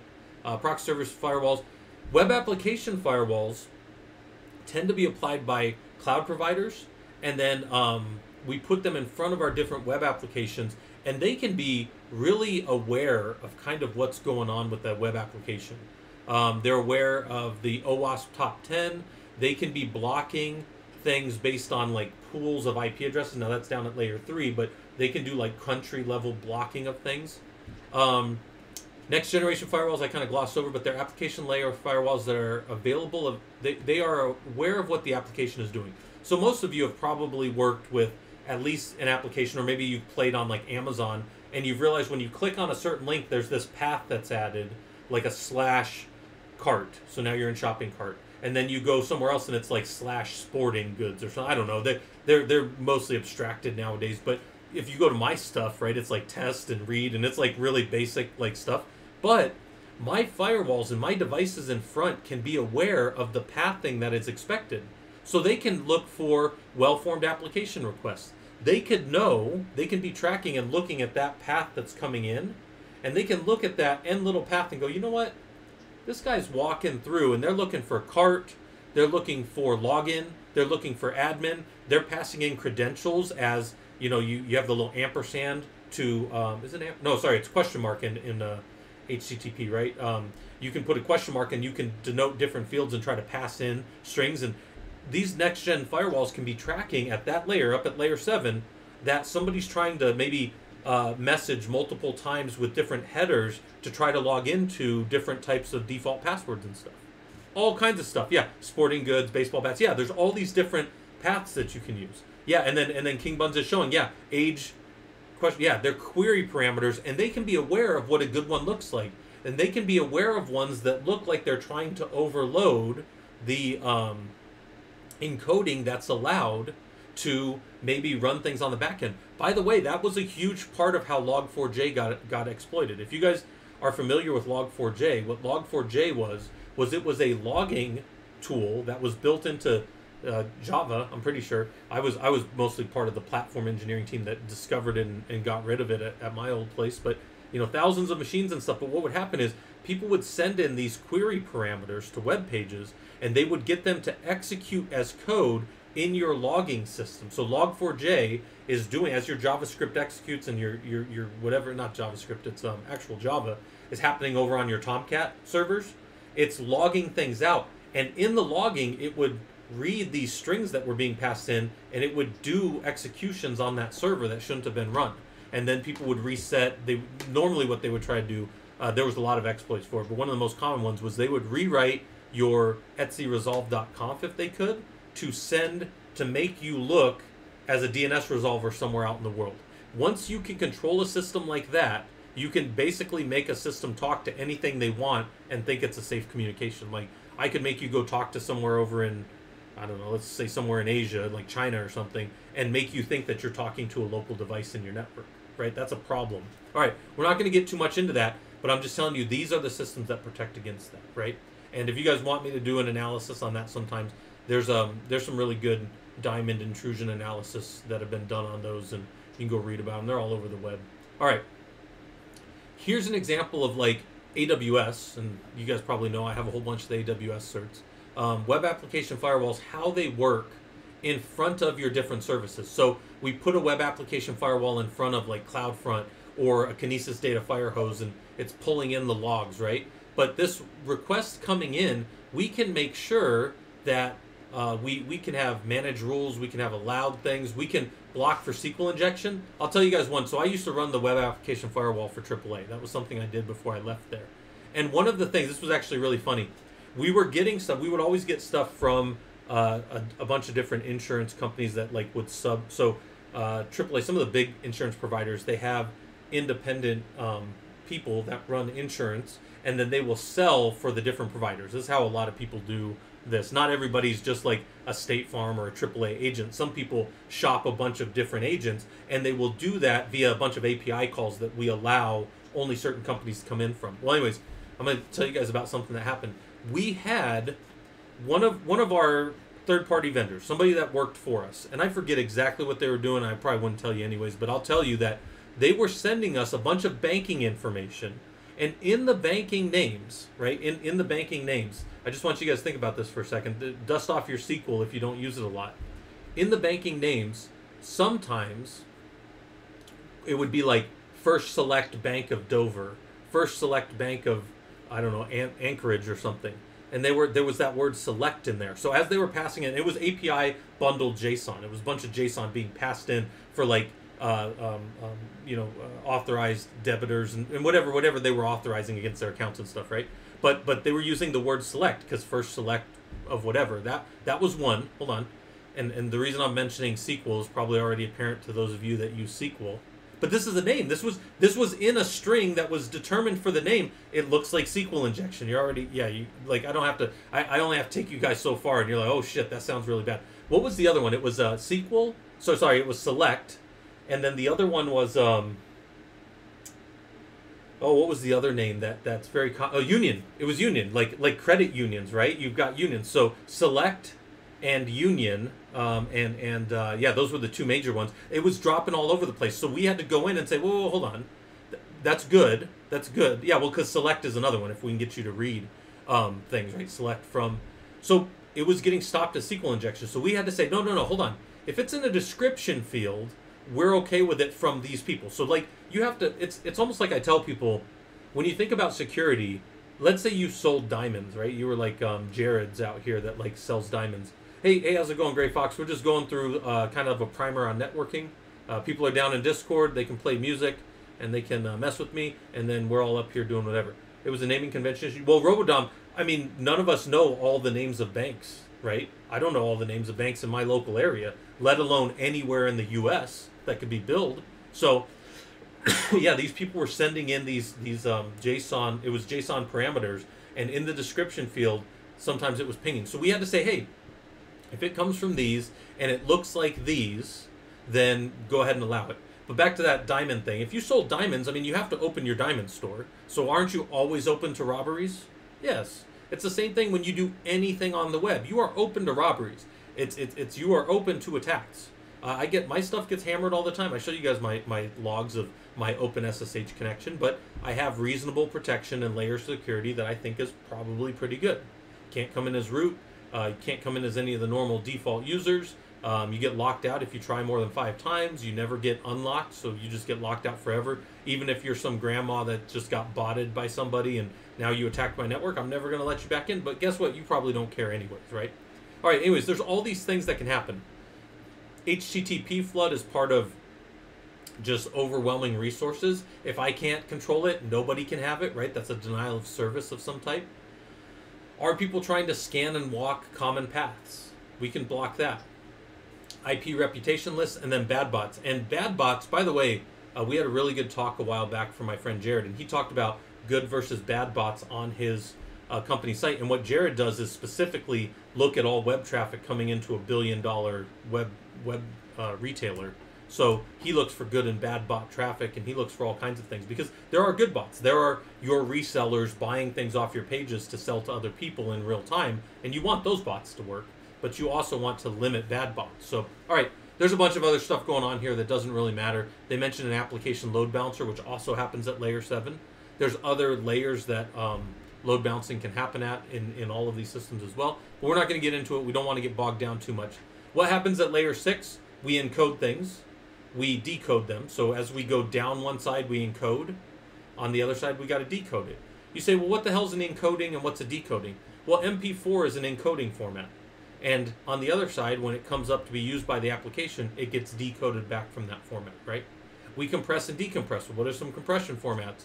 There's all kinds of codec streams that compress sound, in, in especially in um, uh, what we call um, real-time real-time protocol and real-time sound, we compress sound. Even like it sounds like I'm probably talking pretty fast at you, but in every second of sound of even me talking right now, there's probably like over 50% of that second that's wasted that our computer doesn't need to hear anything for that to send over and get shotgunned over via UDP to get to you. So it can compress a lot of that algorithm. It can compress that down. That's that's called codecs.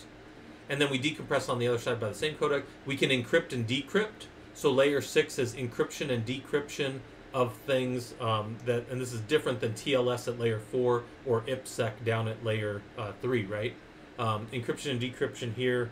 Uh, I'm trying to think of some of those protocols right off. I can't think of any, but the point is, whatever you do on one side, you got to undo on the other side. Otherwise, the message isn't going to get across. Okay. Layer five is windowing and flow control. Windowing and flow control directly affects what happens down underneath in, in uh, the transport layer. Uh, windowing is how many frames uh, sorry, how many segments I can send before I have to get an acknowledgement back across all of them. And flow control is uh, how many, um, how long we wait and all that kind of stuff as well, right? So there's all this stuff. Yeah, base 64 is an encoding. Yeah, absolutely. All right, so let's drop down to layer four. Remember I said six and five we're not going to deal too much with. If you guys want to dig into that more another time, we can do that. I have to go research some of that because I haven't used a lot of that in a long time. Layer 4 protocols. There's two major protocols, TCP and UDP. There's 0 to 65, 535 are the available ports, so 65, 536 total can be connected to or listened to on a device that's using the TCP IP protocol stack. TCP is the transmission control protocol. UDP is the user datagram protocol.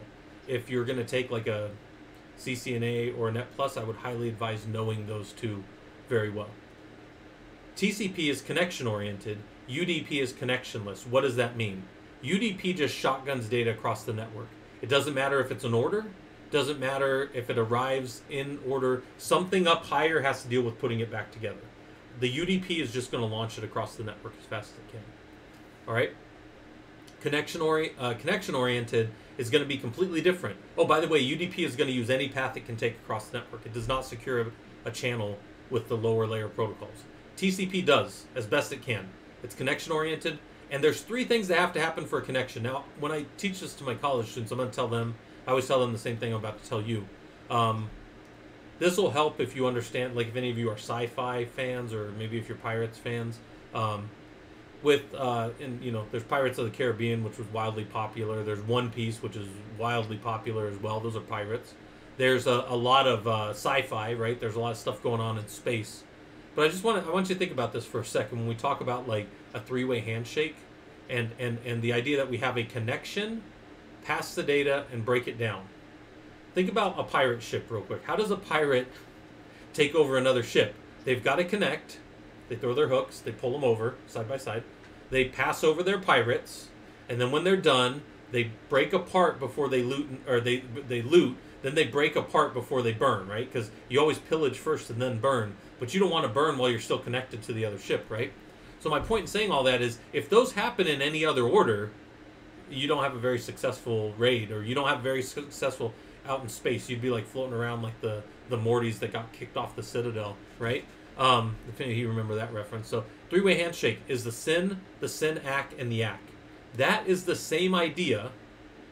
This is the same idea as a contract negotiation. It's a SYN. I say I say to you, hey, I want to connect, and then you say, okay, okay, you can uh, you can connect to me as on this port and this service, if uh, you agree to these terms. That's like sending a contract to me, and I go, I agree with those terms, and I acknowledge them. Now we are in a communication. Once those three things have happened, we are in a communication. I send a SYN, you send a SYN ACK and allocate some resources, and then I do an ACK when you send a SYN, or when I say a, when I send a SYN to you, and you send a SYN ACK back, we are said to be in an embryonic state of that connection. We are not yet in a fully established, what we call an established state of our TCP connection until you send that ACK back to me, or until sorry, until I send that ACK back to you. Once I send, so I send a SYN, you send a SYN ACK, and I send an ACK. That is when the communication can start and I can start to pass data in sequential order with a certain number of them before we acknowledge. We're going to look at those headers here in a second. Um, but while this is happening, this is very important here. Great pirate metaphor. Yeah, I don't think I did it as good this time as I've done in the past, but I think that it's important. You got to send things after you've established your connection. Um, the old SYN-ACK attack. If you guys have ever heard of the SYN-ACK attack, it was I would say, "Hey, I want to connect," and then you would say, "Okay, connect," and then you would allocate some space to me. This is like a dinner party. You say, hey, I'm going to throw a dinner party, and I say, I'll be there. So you set out a plate for me.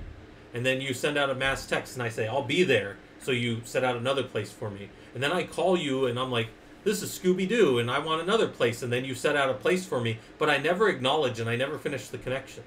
I just keep making you set out places until you can't support them anymore. That's the old SYN-ACK attack. That's been solved greatly long ago by a couple things. Servers will only allocate so many resources before they stop allocating resources to an IP. That's important. Uh, embryonic connections, or what we call half-open connections, tend to be limited by almost all firewalls. Almost all firewalls, like uh, your Cisco, your old PIX firewalls before they became the uh, ASA, the Adaptive Security Algorithm firewalls, um, they would only allow maybe 5 or 25 embryonic connections to any one host from any one IP. And that was just a protection. Then when we're done, we do a breakdown of section where uh, of the session where I say fin and you say FIN-ACK and we're done. Okay, that's the communication uh, of a three-way handshake. UDP doesn't do any of that. UDP is just like your crazy uncle on the back porch of a swamp, just launching his shotgun out into the the night. You know, terrified of whatever's out there, and he's just like shooting off and drinking his his whiskey and and uh, you know all that kind of stuff. That's that's that's UDP does not care if it gets there or not other higher level protocols have to deal with that stuff. In fact, the question I always ask my college students when I talk about this, because we're typically on like some kind of um, uh, stream like this or whatever, is is what do you guys think we're using for this? So what do you think that like a a, a transmission like this, where we're doing video and this kind of stuff, what do you guys think is going back? Is not doing a reverse shell get around TCP. Um, Astro Boy, everything you're doing is still doing some type of TCP or UDP. UDP is your redneck uncle. Yeah, just launching a shotgun, just shotgunning data. So UDP is typically what we're using for stuff like this because um, on the telecom side of things, long ago we found out that if your ear hears a stream of data even one sixth of a second out of order, so in in one second that's a thousand milliseconds. If you receive a packet 166 milliseconds late, or at this point it's a segment still, and it's a UDP and it's 166 milliseconds behind when we needed it, you might as well chuck it out. Because if I was coming in like that, if my voice was doing that right now, none of you would be able to listen to me. I would be too jittery. I'd be like those artifact things on like the old sci-fi type stuff. Yeah, UDP is faster, I'm going to show you why here in a second. It's faster because there's no handshake, and it's faster because there's less overhead. So let's look at that here real quick. So here's the protocol data unit diagram for TCP. This is a TCP header. So earlier when I said when you get to layer 4, when you get down to the transport layer, it's all data up here. I slap one of these bad boys on the front of all your data. So this right here gets slapped on the front of your data. There's 16 bits right here for the source port, and there's 16 bits right here for the destination port. Now, if you wanted to go challenge yourself, go to Google, type 2 caret 16. Caret is right there over the 6 you would find that that is 65536, which is what I told you were the available source ports and destination ports. So why is there a source port and a destination port? The source port is the port that I pick that I'm going to have you connect back to me on. So let's say that this happened to be you sent a request to go to the website somewhere of somebody. So I want to go to umoon.com, right? And down here in my TCP header to connect over there, the destination port would be port 80. That's the destination port for web by default. That's what your uh, your your Internet Explorer, your Google Chrome, or your Firefox is going to use as destination port, and it may get redirected, but it's going to start at port 80. The source port is going to be a generally just a dynamic assigned client port on my machine that I'm going to listen back for. I'm going to listen back for port 5333.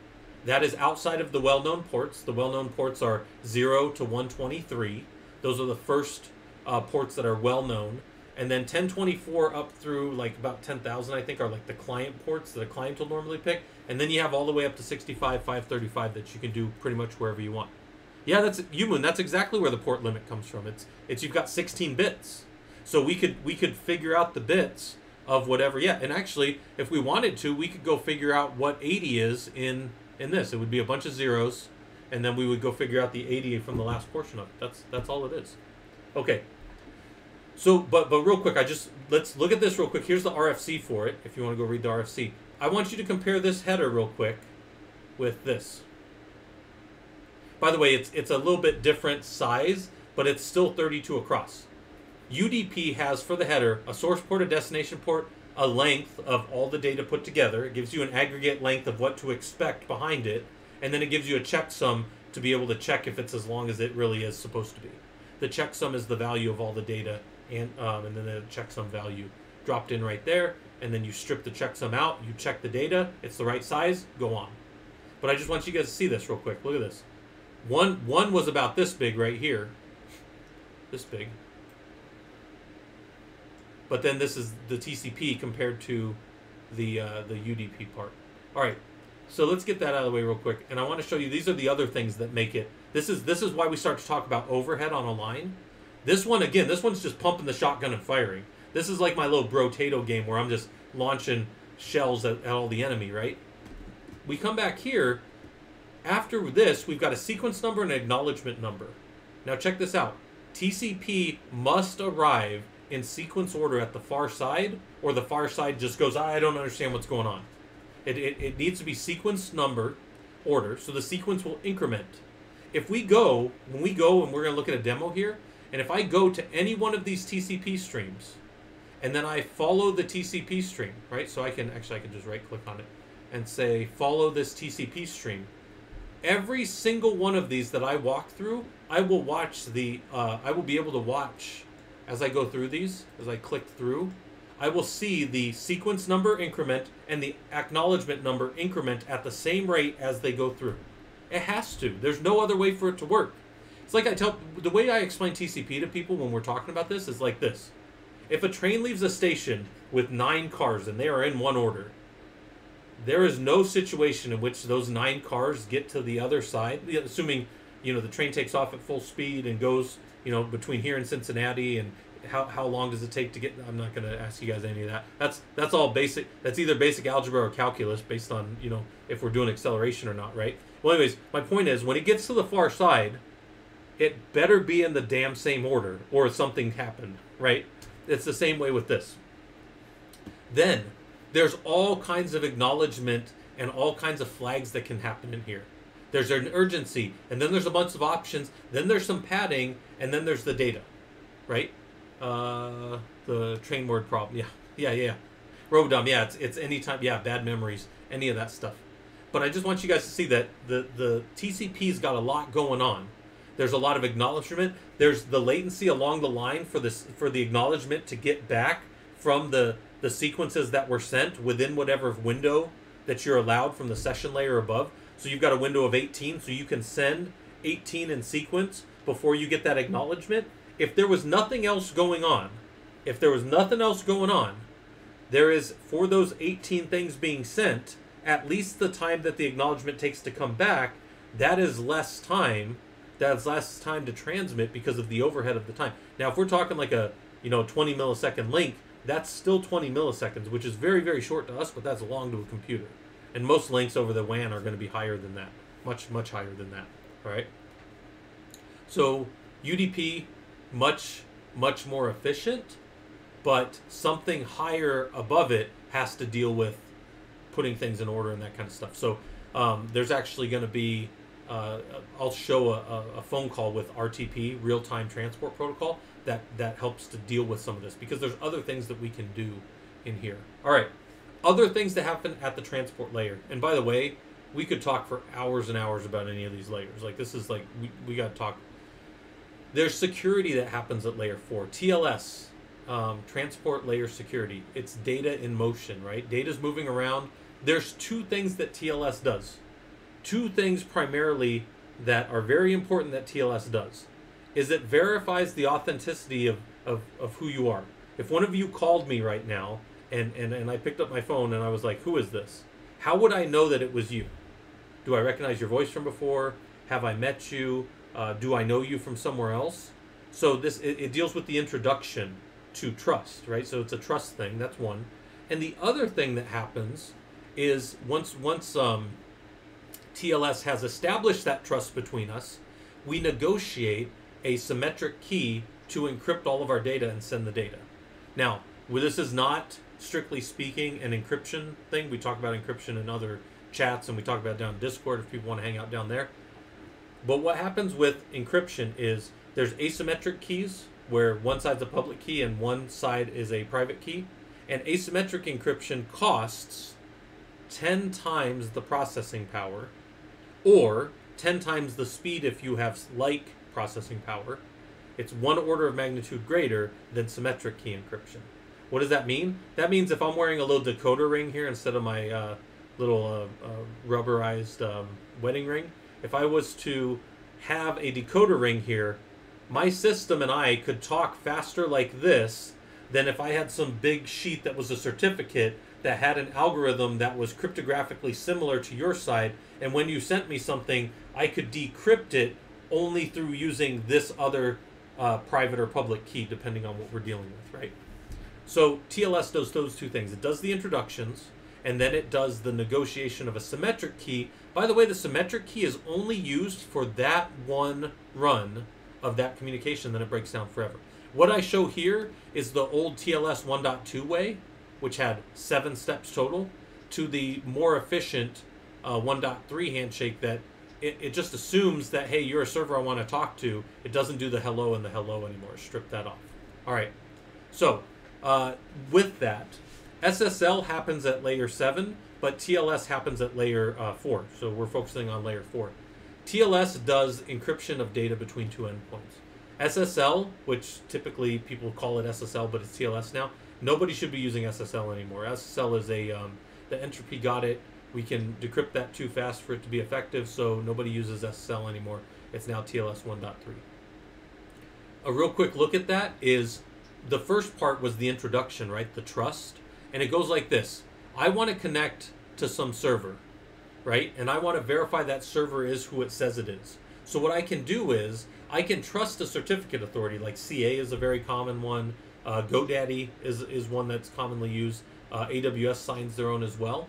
And I can pull down the publicly available version of the certificate for that server. Now, the server has its private version of that certificate and that certificate key. It will never share that with anybody. But what I can do is I can send over to that server a string and I can say, hey, go ahead and decrypt this for me. And the only person, and by the way, I encrypt that string, it's an encrypted cryptographic string based on the public key that I downloaded. And that server looks at that and goes, hmm, you sent me, Mama likes to bake cookies on Wednesday. And I say, that is what I sent you. Fantastic job. I agree that you're who you say you are. Let's negotiate a symmetric key to just be some bullshit decoder ring. And then now our systems can. Yeah, I made that up on the fly, twist. I didn't even practice it. No, I'm just kidding. But anyways, um, the uh, we negotiate a symmetric key to use, and all communication, all data is transferred over that symmetric key after. Okay. But they got to send the cookies. Yeah, my mom bakes really good cookies. I, I can't eat them. They're too good. All right, so layer four example in Wireshark. So let's go look at layer four. Um, here's a Wireshark capture I captured a, wire, a while back, and here I can see protocols going on, and I can just go look at TCP. So when I fold this down, if you guys haven't used Wireshark before, let's see if I can zoom. I can't zoom in on it anymore.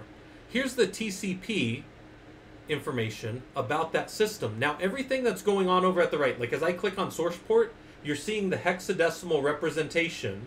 So if we were to take those four things that are limited right there, it's 873A. Those are hexadecimal representations of 16 bits. And you say, Scott, how the heck do you know that? Well, because every hexadecimal character is 16, it's 4 bits long. So remember earlier we looked at this here? Right here? This is TCP we're looking at. The source port is 16 bits long, so it should be 4 hexadecimal bits. Right here. The source port is right there. The destination port is port 22, which is 0016. That, so we're looking at that header that was stuffed on the front of all of our data. That, that, that's what Wireshark does, in case you guys didn't know this. Then it gives us some stream index, gives us some stuff, and then the next thing it should do is go to the sequence number. Here's the sequence number. The sequence number for this is 1. This was the very first thing in the sequence right? Uh, this sorry, this is the relative sequence number. Here's the raw sequence number, right? That's some number of millions. I think it's 288 million.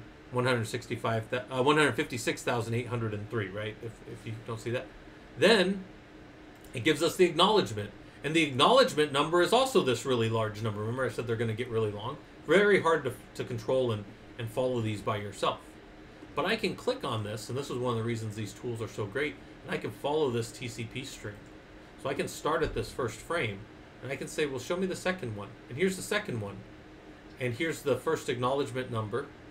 We're on the first acknowledgement number. Here's the sequence number. 373 is relative. And we can just keep going through. Yeah. And we can keep walking through this for the entire conversation of this system. So if something was breaking, if something wasn't encoding or decoding right, we could go look at this. Uh, I don't think I have it on this one. Let me open up one of my other ones. Hold on. I'll open a recent one on one of my college modules here. Hold on. I'm going to remove this because I don't want this. And this is actually a call between two different um, soft phones through a private branch exchange that I had set up. And the protocol that we're using above the user datagram protocol. So it's UDP. This is a UDP.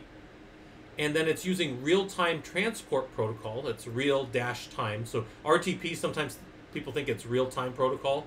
It's real-time transport protocol. They're being sneaky with the extra T. But then here's all the information about that. And then I can take this and and if if it's real time protocol, real time transport protocol, but we're not secure real time transport protocol, I can do something like this. And this is this is one of the reasons that this is so important to kind of understand this. Let's go right here to uh, telephony and look at my voice over IP calls, and I can play this thing back. I can play your call back to you. This also is really creepy. Hello, world. You guys hear that? Hello, world. It's like the most terrifying computer voice I've ever heard saying, Hello, world. It's fucking creepy. Hello, world. But, anyways, that's what it is. Yeah, it's super monka, right? Uh, so, but my point is, we can go look at this and we can see how the call went. We can see the endpoints that were involved in the call. So, the source and the destination flipping back and forth. There's all this stuff that we can do. Help us. Yeah, yeah, that's terrifying, right? Okay. But but this is this is how we capture and look at what's going on in real time in our network. And on the Linux side, a lot of times we use TCP dump and then we drop it to a .pcap file. We extract it out of our Linux world and we throw it into. Uh, by the way, you could still do it at a Linux desktop. I'm just saying you can pull it out and send it to your network engineers and let them look at stuff. But where I tend to have used tools like this is um, this. This happened uh, a few years back. We were moving to a new data solution. We had a uh, backup of all of our Linux and Windows systems, so about 5,000 machines, and I was the platform engineer over all of that. And we were going to one backup, so our backup engineers, we had a few backup engineers on the storage team, they had worked with the vendor to point all of the new agents to the new location. And then they were saying, hey, in our test environment, they, they, they got Scott, the, the Linux engineer, mainly, me, and then we got our network engineers on the call because they're mostly our network guys and they said where is this traffic going it is not hitting this bucket we've got a brand new clean bucket of zero bits over here zero bytes and we want to push storage from partially to, to test and show and none of the data is going over there how do we do this so i get on the box and i say we'll start it all up do a tcp dump track where i think the data is going to go and the port numbers that i expect and i get zero data so I strip off where I expect it to go and I just look for that port leaving my system. Come to find out, the vendors, and this happens, this, this, is, this is why we use tools like this, right? Because otherwise, I, I show you guys this all the time and you guys probably think I'm kidding. Otherwise, you're just like this. Like, I'm sitting here looking at a black screen and that black screen's looking back at me and I'm like, like the, uh, you guys ever seen the, um, uh, what was it, the, um, the hell's his name? Um, Stone Age SpongeBob, and he's like, he doesn't know what the hell's going on. That's that's. I mean, what how, I don't know what's going on, and if I don't know how to use my tools, that's where I sit forever, right? Just that's fucking SpongeBob. Anyways, um, my son used to love SpongeBob when he was little, but anyway, so so we're here, and now I'm tracking and I'm seeing that it's going to the old place, and the vendor had gotten the original data and just loaded that up, and then there was some big yeah the time travel episode. So he the vendor had mistyped in this was this was a simple misconfiguration and they were still sending it over to the other place. And now you might say scott why didn't they ever catch that? Well one they weren't tracking over on that side systems that were already sending data in two that was already a giant pool of data so there was no way that they were going to catch that so then we yeah Robodom, there's some time in there where you don't really follow SpongeBob as much, and then you get older again and it's funny again. But anyway, so we, we pointed it to the right place and all the data flowed and everything worked. But we fixed that because we understood the traffic patterns and the port numbers. And when we say we, I don't just mean me, the networking team and the storage team. We went in there and we found out that at the end of the day, it was just somebody had put the wrong data in. They had put the right data if we were still going to be sending it to the old bucket, but we weren't sending it to the old bucket. We were getting to a new bucket and and sometimes that's what it takes to fix. And they were like, "Oh, sorry, you know, we we had these email chains, and that's where I went and pulled it from, and they just didn't realize they'd sent it to the wrong one." This happens, right? But we have to figure out how are we going to read this data out and get it. All right, so there's that. There's that. So let's that was our layer four example in Wireshark. Let's talk about layer three. Layer three is all about routing. Routing deals with the IP packet. The IP packet now is the thing that we're dealing with. So at network, we deal with packets. Routers do two things by default, path, path determination and packet switching. They do path, path determination based on their routing tables that they construct from three types of rules. If we're dealing with Cisco, there's three types of rules. There are directly connected networks, which is a trust level of zero. There are static networks, which are a trust level of one. And then there are dynamically assigned routes that are 2 through 255 in what we call administrative distance. Administrative distance is trusted at a 0 to 255 level, 0 being the most trusted, 255 being the least trusted, right? And again, this isn't about programming Cisco devices, but that's how Cisco does it, and that's how most of the systems around the world kind of work. All right, uh, you need to add the emote. It's called mod check. Uh, yeah, just to make sure if mod's around. Yeah, and then access control lists, we can have logic around how we filter things down. So we do path determination and packet switching, but then we added some functionality to routers 20 plus years ago where we could then filter down what's allowed, and routers can be doing a fair amount of, of good logical security in your system, and then a little bit about IPsec tunneling. So there's other things that happen, but these are kind of some of the big ones. Um, the packet lev- level here, when we put it, look at what's smacked on the front of all the data that's come down from before, it's it's almost like the header is just like slapped onto the side of a box of all the data that came down from the transport layer. So now we're at the network layer. The very first thing you'll see here is a 4-bit identifier that is almost always, almost always set to 0100. 0100 and those four bits tells you that it is version, so this would be the the the ones, the twos, the fours, and the eights column. If if it's 0100, it's always IPv4.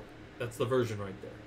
Now, it could be IPv6 as well, but for now, it's IPv4. And then down here, there's some other information. There's the total length, and the reason total length is given so early is because after we get down to options and padding, we have all the data down here. All the data is past this. You don't really see it because we're just looking at the header. Um, all that data uh, is added up so we know the total length of what this packet should be. There's a lot of reasons why this packet cares uh, the total length. One of them is because at the at the frame layer, there's a thing called. Um, so I want you guys to think about this. At the frame layer, we're going to have a maximum transmission unit. The maximum transmission unit is like the size of the the, the car on the top of a um, uh, the car on top of a train, right? So like a little car that we can pour stuff into. And the maximum transmission unit on most of your networks is probably 1500. So the maximum MTU is 1500. That's maximum transmission unit. If this packet comes down bigger than that, so so this packet comes down from above, drops down in, then the maximum transmission unit of the network on the frame is 1500, and you've got a little bit at the front for a header and a little bit on the end for a trailer, then I have to cut that packet and put it into two frames to get it through my network. Does that make sense? Then when it gets to the other side, we got to take it and put it back together. But uh, this is really important here. We've got a little thing right here in our flags. One of our flags is DNF, do not fragment this bit. And if we set a do not fragment on a packet that's bigger than what the maximum transmission unit of the lower layer network is, it'll break. It will not send and propagate across the network. Now, you might look at that and go, why the hell why the hell would you give me that designator? Why does that matter? Well, because sometimes we have to do that for testing, and that's a very important thing for um, to understand your maximum transmission unit for when we're dealing with uh, storage area networks and when we're dealing with big storage and um, like storage area networks and big data type movement. Because if I expect the packets to be coming down in a format that allows them to be bigger, and then they're getting chopped up smaller in the frames, that is absolutely going to affect my throughput tremendously. The kind of speed that I can get in out, my I/O speed of my backend storage for my high performance computer, whatever environment I'm in, right? So those frags are important. Um, they give you some other information. The time to live is decremented at every hop, and the time to live for most IPv4 packets is 16. We can set them higher, but it's set typically by default at 16. So if your packet takes more than 15 hops to get somewhere, it dies. The next device that gets it that can't decrement that number just tosses it out. So the lowered MTU one day and the connection drop. Yeah, and I can show you guys. I actually show you guys sometimes how we can test that inside of a Linux network. So if you guys want to see that sometime, just ask me down in Discord and I'll I'll show you guys that. But I, I make increasingly larger packets and then I say you're not allowed at the lower layer to fragment it and and you'll see it. It'll be ping, ping, ping, ping, stop. And I wrote I wrote that years ago because when when you're dealing with storage way over here and you've got these links in between and your network team is assuring you that you've got jumbo frames so the frames down at layer 2 are jumbo sized meaning they can be 9000 maximum transmission unit or 18000 in some cases. And i'm saying i'm not getting that. Something slowed down on my network. So then i would write that to figure out. And i would say it's a 9000 i would make it i would make it a 9000 byte packet. And i would send it and i say you can't fragment it. And if it can't fragment it and it doesn't make it all the hops all the way across, that means that there's some link in there that is not set to jumbo frames. All right. And you might say, well, why why doesn't uh, why doesn't every network team always just turn on all jumbo frames all the time? Well, because there's efficiencies to using a smaller frame set. It's the it's set to one. All right. Here's the um, I, I by the way, you may see these little links to the RFCs. The RFCs are all the engineering terms that are back there. IPv4 not embedded in IP6. Why we don't use IPv4 by itself? They're not embedded. They're completely separate headers. In fact, I'm going to show you the IPv6 header in a second here. So this is the datagram for a packet um, with uh, IPv4 packet, by the way. Now let's look at the header for an IPv6 packet. Similar size, but look at that address. Well, that's a that's a big old media address right there. The source address is 128 bits. So if you want to go to Google and put 2 caret 128, you're going to get a real big number. In fact, it's such a big number, they have to express it in scientific notation to even show it on the, the Google screen. Right? Um, it's something like 314 trillion times 314 trillion times another few trillion. It's, it's some, some huge number. And that number is so big that uh, this number right here, 32-bit addresses, is about 43, it's a, sorry, 4.3 billion is about what this equals. This equals somewhere around a little bit more than all the atoms in the known universe. This is a huge number. We should never run out of it with a little asterisk because we've been saying that forever, right? Okay. Uh, so why do we go from IPv4 to IPv6? Well, obviously we're not going to run out of spaces. It is truly geolocation set, so all the locations on Earth are already set, and typically, probably when we get into moving into space, we'll have all those set as well because we can easily uh, do that. There's security built into it. Um, I've mentioned this a few times. I don't know if I mentioned it today yet, but IPv4 was designed in a time when we were during, and it was still in the Cold War with Russia, right? Uh, we may argue that there is still a Cold War, but the, like the official Cold War, like the historically recognized Cold War. And we believed in mutually assured destruction, meaning we were going to kill them with nukes and they were going to kill us with nukes, and it was going to be terrible. But IPv4 was designed to still work even if 60% of the nodes in the in the links were down. Traffic will still flow with an IPv4 network, even if 60% of the nodes got cut off by a tragic world war, right? But there was no there was no consideration here for security, none, not even a little bit. Everything for security has been added over the last 40 years, right? So, in an IPv6, we have, and I'm not showing it here. We can go into that in another stream, or if you guys want to talk about it. After we get past this, we've got options down here, and the options allow us to add um, what we call um, extensible security. So we can add more functionality of security into this basic frame that's given right here.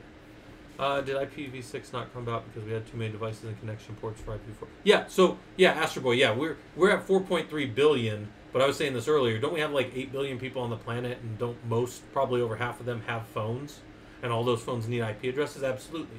But we used a tool. We we did um, uh, the IANA, which is I A N A, uh, Internet uh, Addressing Number Authority, or something like that. Something like that. Internet something numbering authority. Went ahead and said, hey, these are going to be uh, non-routable address spaces that you can use only internally. So we got these classless interdomain routing uh, internal addresses that we could all use. So I can have 192.168.1 dot whatever, and you guys could all have that, and those will never go out on the network. So all of these back-end networks share the same IP address ranges that get natted out as they leave the network. In fact, I didn't even talk too much about NAT here. I probably should have that. Maybe in a new iteration of this. But all right, let's keep going because I got to get through this. Um, so we got that. And then at layer three, we have firewalls, right? Firewalls also can exist at higher la- layers as well, but uh, there's a little bit of a history here. The firewalls come from this older device called the PIX, the Packet Internet Working Exchange.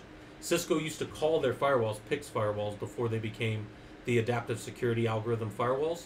Um, at the end of the day, most firewalls represent the connection between different autonomous systems, right?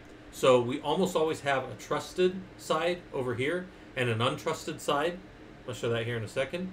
And when we do that, we, we need to understand the difference between a stateful and a stateless packet inspection system. This is very important. Stateful means if I, internal to my network here, try to connect out to Google on port 80 and, uh, and say I'll listen back on 5333 over on my side with my source port, my firewall hears that, my stateful packet inspection firewall hears that, and when that traffic comes back in from Google, that would normally not be allowed back. But it sees that port 5333 is something that I'm listening for in that stateful, it's kept the state of the link. It says, yeah, I'll allow that back. That's a reflexive access control list. It's, it's, it's reflexive, it's stateful, and the trusted internal can send out and get data back only from the right place. But it relies on a trust model. So we've got a trusted internal, untrusted outside. We call it reflective access control list technology because it punches a hole only allowed for that one to come back in. That and back in the old days we gave out massive IP. That is true as well. Some some companies got 16 million IPv4 addresses that probably shouldn't have had them. And then there was hoarding, and then there was selling of them as well, and uh, and renting of them too. And uh, there's yeah there's that. Stateless is different. Stateless. So so the way I always explain stateful is almost like if this was like I was at a uh, like a bar or something or a club, and I got a little armband, and then when I walk out, the armband lets them know that I can come back in. But if you guys have ever been at a nightclub where you walk out and you don't have that, now they have to check you as you come back in every time. They got to make sure you're 21 again. In the U.S., they got to make sure you're 21 again. I realize in other parts of the world they, they don't have that. But stateless means every packet is evaluated both times regardless. This is how we do access control lists. Access control lists are stateless. They do not care where you came from. They do not care where you're going. They're going to follow you down your list of rules every single time, no matter what. All right, so let's look at that real quick. We're in the network layer still. Access control lists. Routers have, again, routers have two major functions path determination and packet switching. When they're doing their packet switching, both inbound or outbound on their interfaces, they can apply access control lists. Your access control list can be based on all of these things. There's two primary, if you're a Cisco person, there's two types of access control lists that matter. There's your source IP for a, uh, sorry, there's a standard access control list, which is the basic one, and that is typically uh, just based on source IP. That's the only thing it can do. And then there's extended access control lists, which can be based on source IP, destination IP, TCP or UDP port number, which again is up at layer four, but they can be aware of it. Uh, the transport layer. So so this is if they're TCP or UDP, and then down here is are they some number between 0 and 65535 for either TCP or UDP. So they can be real, real granular. And at network layer, they can be blocking IP or ICMP. By the way, what's ICMP? That's the Internet Control Messaging Protocol. If you've ever pinged, ping is the packet internetworking groper. Ping is a subset of ICMP, and ICMP is the ability to um, send all kinds of information about your network and map networks. Now, it makes sense that I would probably not allow ICMP from outside into my network, right? Most devices, most of your Windows devices, don't allow ICMP by default with just their basic um, configuration. Most Linux devices, though, by by contrast, are allowed to respond to any kind of ping that comes to them. So you kind of got to think about how you want to deal with that. All right, so let's talk about some access control lists. I call the access control list the coin sorter problem, and then I put a little thing down there. Only I called it that. Nobody else in all the world does. Let me see. Hold on. Let me go check. Make sure I'm not missing. I'm probably missing all kinds of stuff in here. Okay. In in the in the Discord chat, you guys still have the ability to uh, send me uh, music if you need, right? Or or send me uh, whatever. So this is an IP access list here, and it's going to be applied sequentially or procedurally is another way to say it, and it comes from the top down. Top down, apply. And I want you guys to think about this. So think about a coin sorter. If I wanted to sort coins, and uh, as I say that, I don't have a single coin on my desk. But does everybody here know what a coin looks like? It's a little circular piece of metal thing, and they're they're small sometimes, all the way to really big. This is the uh, the types of coins that are out there. Well, in the U.S., the biggest coin is, I believe, the half dollar piece or the dollar piece, whatever that is. Oh, that's a big one, right? And maybe a 50 cent piece is pretty big. And then the smallest typically is the dime. And the dime is about the same size as a uh, Canadian penny as well, right?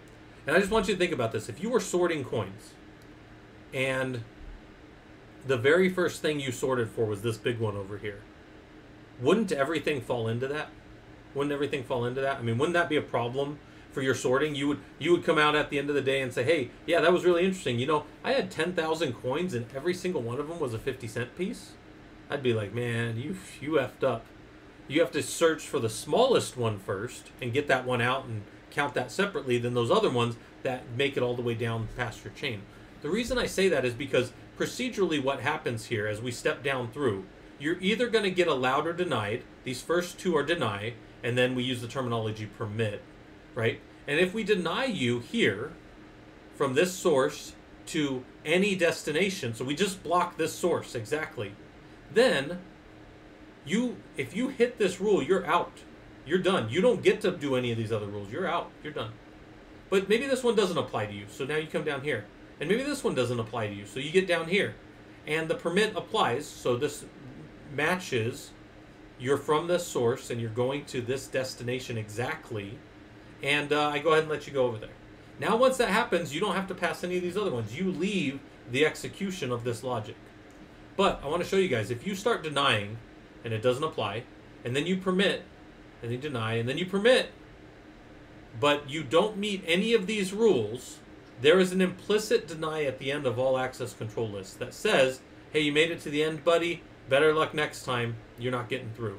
Now, the way you invert this to not do that is to do what they did right here, where this allows any IP. So, so I deny what I want, permit something, I deny some more.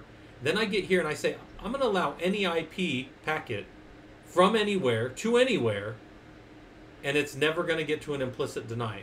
If you weren't denied here, I'm allowing you here. Meaning that this network right here is a pretty permissive security model.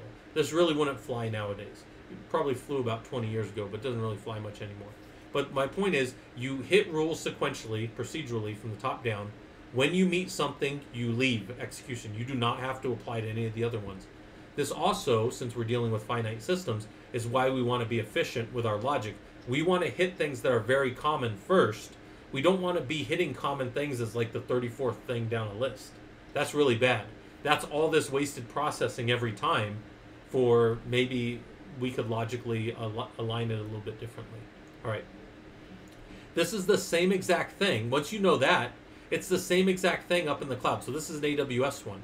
This is your inbound rules of your network ACLs, what they call NACLs sometimes. These are your inbound rules applied against the subnet right here. They're applied in order. We allow, in my network, I'm going to allow all ICMP from anywhere. Uh, and this is an inbound rule, not an outbound rule, so this is only inbound. I allow all ICMP. So I want you guys to think about this. If I allow all ICMP, which is ping, into my network, and I'm down here, and I make a rule that denies ICMP from a certain range, it's already got it's already in my network here. Does that make sense? It's, there's no there's no denying something after you allowed it all. So you really got to think through your logic as you build these. Then I allow port 80 in everywhere. I allow HTTPS in from everywhere, and I allow SSH in from everywhere. This rule right here will get you pinged big time.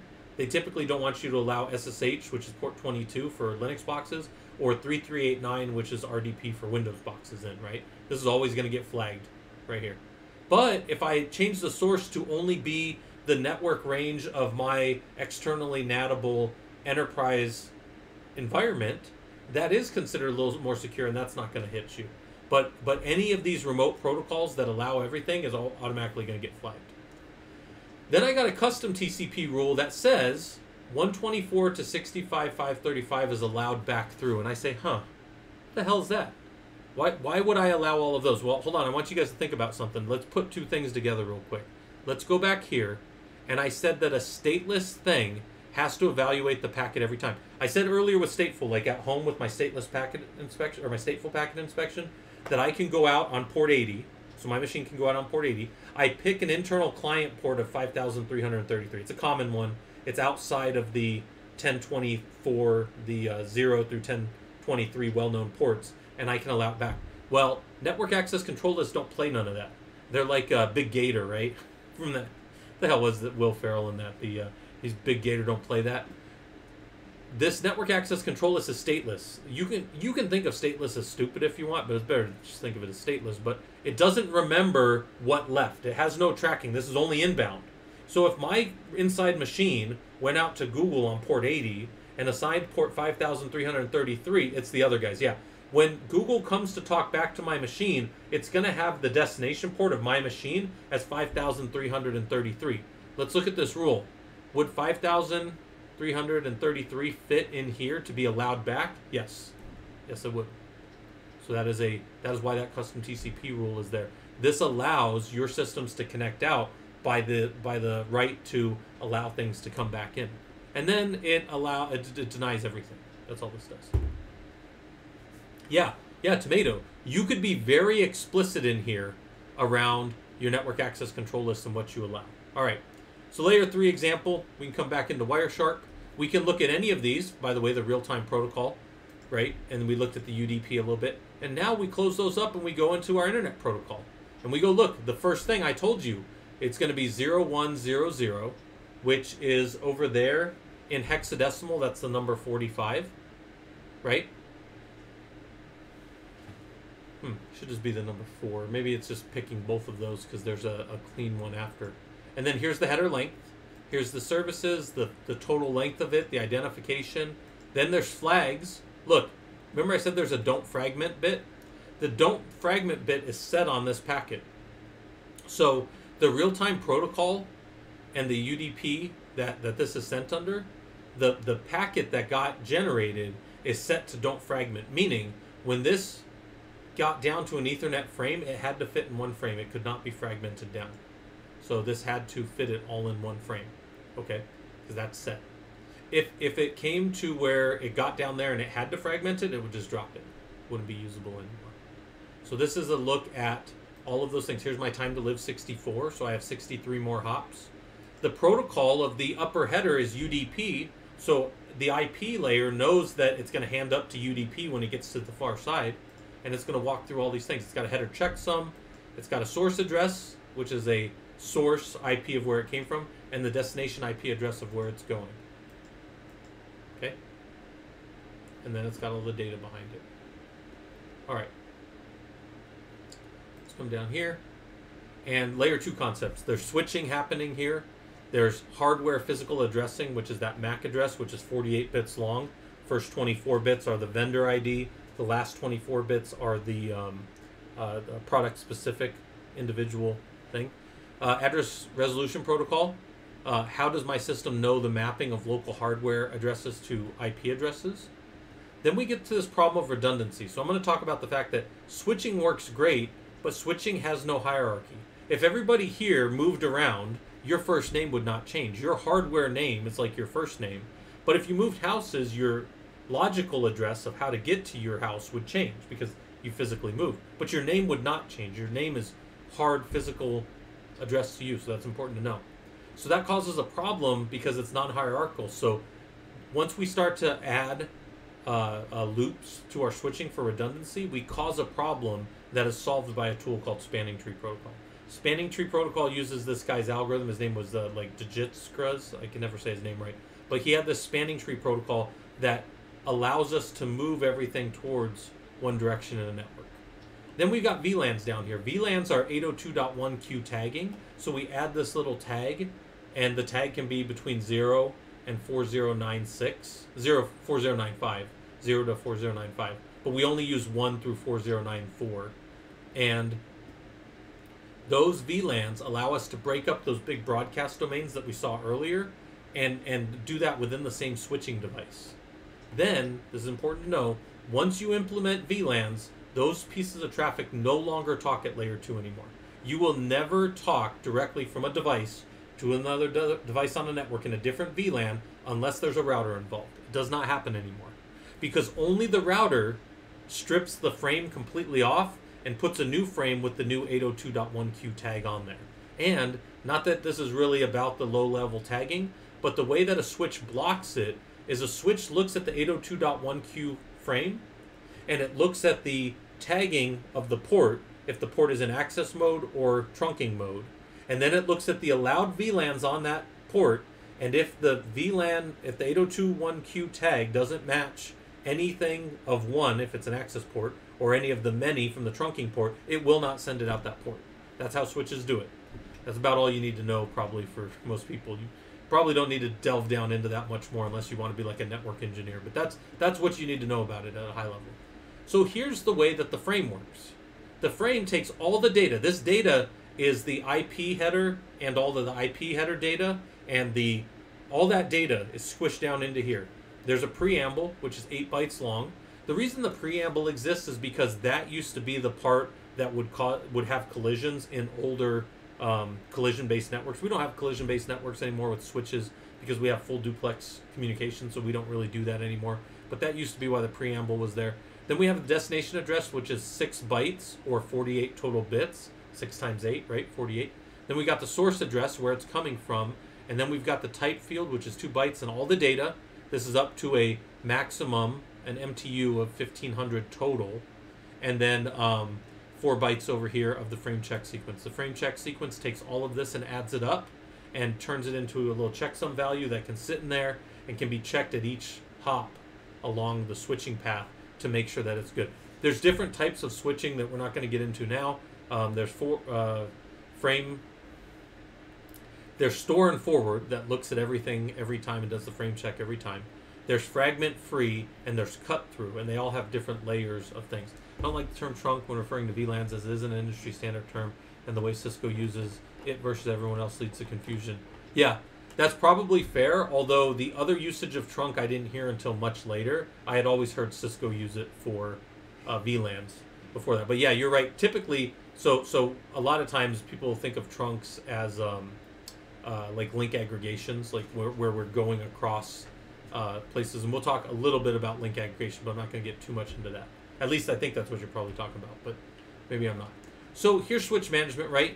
How do we make switches more fault tolerant? So when we have these switches, if we just had this, and I, I took this real quick, and um, let's just clear this all off. If I if I got rid of these guys real quick, if these guys weren't here, these guys weren't here. This is a happy little network. There's no problems on this network. But we have what's called SPOFs. Does anybody know what a SPOF is? This is actually, I'm not being sneaky. This is an engineering term. What's a SPOF? Anybody know? It's like this. Whoops. Go back to here real quick. S P O F. Engineering term. It's got nothing to do with networking. It's a single point of failure. Look real quick. If this fails, did we just lose the network? Yes. If this fails, did we just lose the network? Yes. If this fails, did we? So if I'm if I just start cutting these off, look, this is a single point of failure on this network. This is a single point of failure. This is a single point of failure. As is this. As is this. As is this. This is terrible. This is absolutely terrible. This is a terrible way to live between two networks. So what we did was we said, I don't like that. I'm going to go ahead and add some switching here. But what immediately happened because these devices, so you know, this is this is Scott over here and uh, Robodom, and then this is uh, uh, one of you other guys over here and I want to talk to Robodom. So I come down here and I talk here. Good. But I want to talk to this person over here. And switch A goes, well, I know how to get to him. I can send him to switch B. And switch B goes, well, I know how to get to him. I can send him to F or D, so I'll send it to D. And then D goes, well, I know how to get to him, but I've seen his frame, his, his uh, address come in from over here, so I'm going to send it over here. And then you get into a switching loop. There's switching loops where it just spins forever because there's no hierarchy to the name. There's, there's zero hierarchy to the naming. So we had to figure out a way to cause all the data. It's almost like if you've ever held water on a plate. You guys ever done dishes and you like just let some water fill up on a plate? Then you go like this and the surface tension breaks and all the water flows one direction. That's how I think of spanning tree protocol. That's how I explain it. We're going to elect one of these as the root bridge in this network. Once we elect one of these as the root bridge, all data is going to flow towards it. We're going to turn off ports so that the data wants to flow one direction. Hey, Quartz One, thanks for the uh, gifted subs. Uh, anybody that got one, make sure you uh, tell them thank you. Uh, I always appreciate it. That kind of stuff keeps me motivated. It's not why I do it, but it is kind of fun to to get uh, bits bits and that kind of stuff. I always appreciate you guys coming by and, and dropping stuff in. But look, there's no logical hierarchy. So how does this work? Let's again, I'm not trying to turn you guys into network engineers. I'm just showing you how it works, right? So right here, spanning tree protocol works like this. They pass around all the switches when they come up. They are not converged yet. Convergence is a very important term. I can't believe I waited this long to say that. Man, somebody needs to like put this in as like a Scott talked for two hours and nine minutes and he did not mention convergence. Convergence is when all the devices in the network see the network topology the same way. All right, that's that's what um, a, a, a, um, convergence is. So before convergence, they pass around BPDUs, Bridge Protocol Data Units. They use this to elect a root bridge and then calculate which root ports flow all the traffic that way. I'm going to show this visibly in a second here. But we elect one root bridge, we use a process for that, and we can administratively set that if we want to. We elect root ports and we send all the data one direction. All right. There's a four-step uh, process. They send bids around. They figure out which one's the lowest, and then they all agree that that's the way it's going to go. It's kind of like an Ent moot. You guys ever seen? Uh, remember the Lord of the Rings, or if you ever read it, the Ents take a long time to say anything. Well, Spanning Tree Protocol takes about 90 seconds to converge a network, and I want you to think about that. That was acceptable 20 years ago, but could any of you right now imagine if you brought up your network at work from a cold state, you started bringing devices up, and it took some of them 90 seconds to get going? Your management would probably flip on you. 90 seconds is all fucking year for a bunch of computers, right? That's that that's like a thousand years for the computers. So for us, it's it's pretty fast, but spanning tree protocol can take about 90 seconds to converge, and the reason is is because the ports come up, and there's there's five total port states, four of which are called transition port states. Disabled is down, so you don't transition out, but you do come up blocking, then you listen, then you learn, and then you forward out the way that you're expected to go from then on. Forwarding is where we want to be when we're all in a forwarding state, or blocking if we're stopping certain ports. This is going to make a lot of sense when you see this visually if you've never heard of this before. Disabled means I've just done a no shut on it, or it was never configured to be up. But we block, we listen, we learn, and we forward. It takes about 90 seconds for a network to be good. Well, what if what if it? So this is what that old thing looks like now. Uh, by the way, spanning tree protocol is defined by IEEE 802.1d. And if you guys ever wonder where the 802 comes from, it this is going to blow some of your minds. It is February of 1980 when they first convened the IEEE for the purposes of defining network protocols.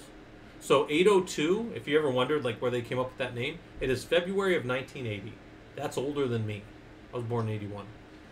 And then 1D, dot 1D is the subprotocol. Okay? So now we've elected a root bridge. These are going to forward, and as you look at this, they're all going to send from their root port to the designated ports, and all the data is going to flow one way, or it's going to flow out the other way.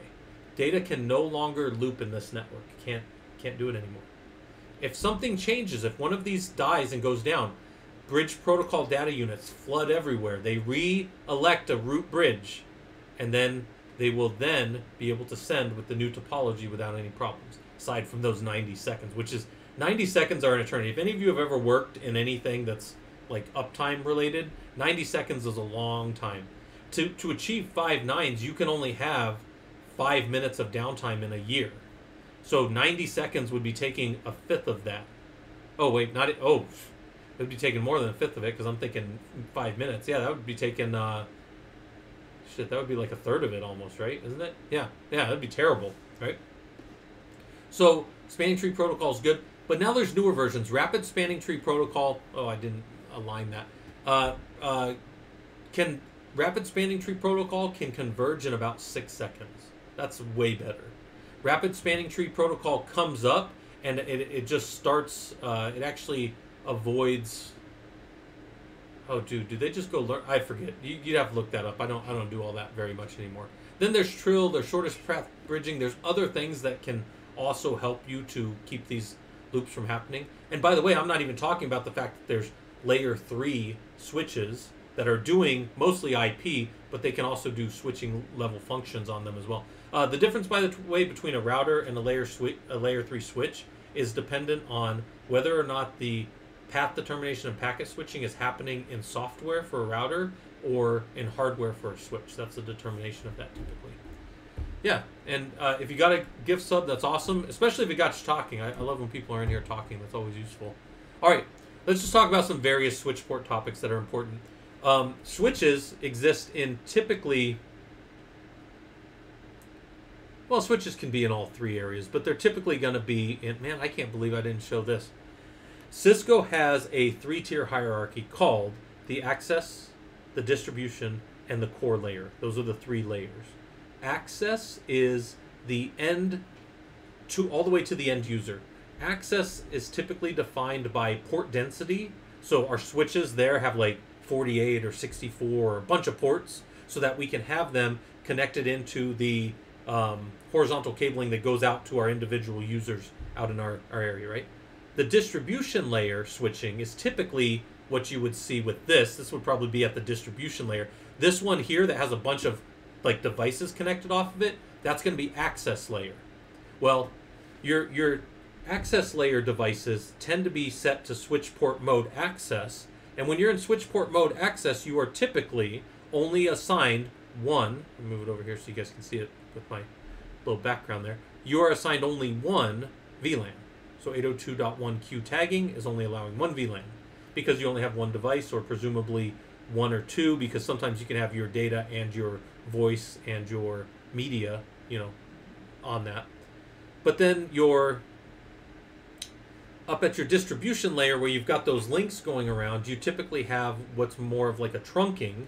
And I, I get that trunking is kind of a, a thing, but the, the trunking ports tend to mean in the Cisco world that we are allowing multiple VLANs to span that. And when we allow those VLANs to talk between the two different switches or multiple different switches, we have now caused those VLANs to exist across all of that. If you have VLANs on, I, I explain this to people, if you have VLANs over here on a switch, you're using 1, 2, 3, 4, and 5, and over here you're using VLANs 1, 2, 3, 4, and 5, and you do not trunk between those, you have five VLANs over here and five different VLANs over here. They are not the same. But once you allow trunking, in Cisco terms, to connect, then all of those are the same VLAN and traffic will uh, flow across them that way. OSPF is a routing protocol allowing you to connect one network to another. Yeah, I didn't even get into routing protocols here because, man, I could talk for a long time about routing protocols, but I definitely didn't want to blow people's uh, minds up. So, uh, what actually is a VLAN? So, what a VLAN is, is within this frame. Do I have a frame here? Yeah, within this frame, we add up here. There's actually a little thing that gets added. I didn't even include this, but I should have included it. We add a little tag for 802.1q. It's a. How many bytes would that be? I think it's a. It's 8 bytes. 10, I think maybe a 10 byte. No, it's got to be big enough to do 4096. Somebody do that. Somebody do that math for me. Um, and then when that tag is applied there, it our switches will no longer forward anything out a port that doesn't have that tag on it. So what it does is it causes our networks to be uh, a virtual local area network. So only devices that have that tag talk to each other down in our layer two. Then you say, well, so okay, so it, you shut off all these other ones from being able to be talked to, and I say yes. And you say, well, then how do I over here on the accounting team talk to my servers over here that are in a different virtual local area network? And I say, well, I'm glad you asked that. You have to go to a router. That router has to assign a new frame with a new tag on it and send you out to that device so it can get over there. Yeah, so it's a virtual local area network. But it's been done at a at a low at the lower layer, layer 2, where you typically have to define networks at layer 3, but you can do it virtually with a VLAN. That's all it is. Other things that can happen. You should really shut down ports that aren't being used at the access layer because and you do a no shut command to reverse it. Uh, by default, most devices have their ports off, so that's good. Uh, you should use switch port port security to limit MAC addresses. You can make it learn the first MAC address and then not allow others to come in. People used to just drop wireless access points, and we call them rogue access points. And uh, rogue wireless access points are terrible. You don't want that in a network. Um, switch ports can be trunked or access mode generically. Trunk means that they are forwarding VLANs to other switches. Again, that is in a, in a uh, Cisco context. Access means that they have one 802.1q frame tag allowed, which means there's just one VLAN on that port. And then, this is just a concept, I didn't have time to go over everything, so I'm trying to hit like a lot of it. Link aggregation groups came later for me. I, I did network. I passed all this stuff before link aggregation groups, and then I kind of learned these in the wild. But what link aggregation groups is is when I showed this earlier. I'm showing this, and it looks like it's one link everywhere, and you go, ah, Scott, you were drawing those little X's and stuff. Yeah, yeah. But here, here's the thing. I can take these, and I can actually have four links across. So let's say these are all 10 gig links, and I can take four links together and I can define them as a link aggregation group and say, hey, you know what? You four right here are connected over to that switch on those four there. Let's just go ahead and send all traffic over the four of you at 10 gigs each as though you're one link. So now you've got 40 gigs between those two switches instead of just having uh, a 10 gig link, right? Now you've got 40 gig links. So link aggregation groups really opened up this world, especially like I'm in the high performance compute world where I want all the speed. Give me all the speed for my Lustre and my GPFS file systems and stuff. And I'm already dealing with InfiniBand most of the time. But now I can do link aggregation groups and stuff and get massive, massive speed increases between devices and all this kind of stuff. Um, and also highly available. Like, think about it. Who's probably who's who's using 40 gigs between their devices. Probably some some people doing a lot of uh, queries to SQL, probably that kind of stuff. But but in your organization, would losing one of those be acceptable?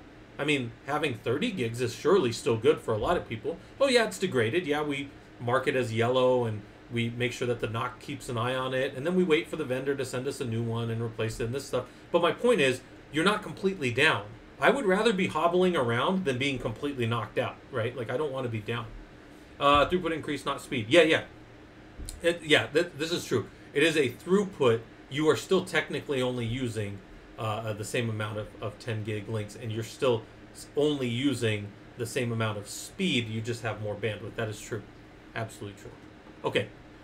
Layer 2 example in Wireshark, same type of thing. We come down here, and, and hopefully you guys have noticed that aside from the fact that I just changed the one PCAP I was looking at, I am looking at, for the real-time protocol, this real-time protocol up at layer 4 got stuffed down into an IP packet, got stuffed into an Ethernet frame, and it got all of these things on it.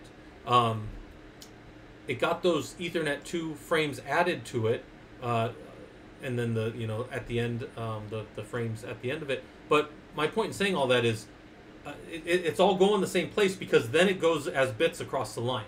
So that's the last part is bits bits across the line. All right. So layer one concept. There's no protocol data unit here. There's no PDU. It's just bits. We're just launching bits as fast as we can from one side to the other. You're simply encoding bits onto a medium. Medium is the singular of media. If you learn nothing, I should have put this as if you learn nothing else from me today. Medium is singular, media is plural, right? Bits can be sent in either analog or digital formats depending on the type of medium you're using. Analog is a perfect continuous wave typically a sine wave. We can also send other types of waves, but it tends to be a sine wave. It, it presents a problem though. An analog perfect wave will be affected by noise in such a way that you will get spikes and jaggedness to it. It's no longer perfect, right? This is a this is a sine wave right here. In fact, that is one oscillation of a sine wave right there. If I had this and this, and I said this was one second, that would be exactly a one hertz wave. Then if I erased it and I went like this, and I said this is a second here, and I went,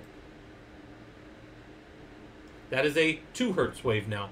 180 degree shift of a wave is one full cycle. So from here, actually to here, don't worry about that one. From here to here is one shift of the wave, and then from here back to here is one shift of the wave.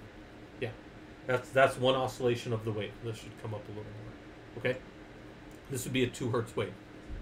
But if we start to get noise on here, noise against our perfect continuous wave, when we go to amplify this, we amplify the noise with it as well. When we make it stronger again at the next repeater or whatever, it, it, it amplifies the noise.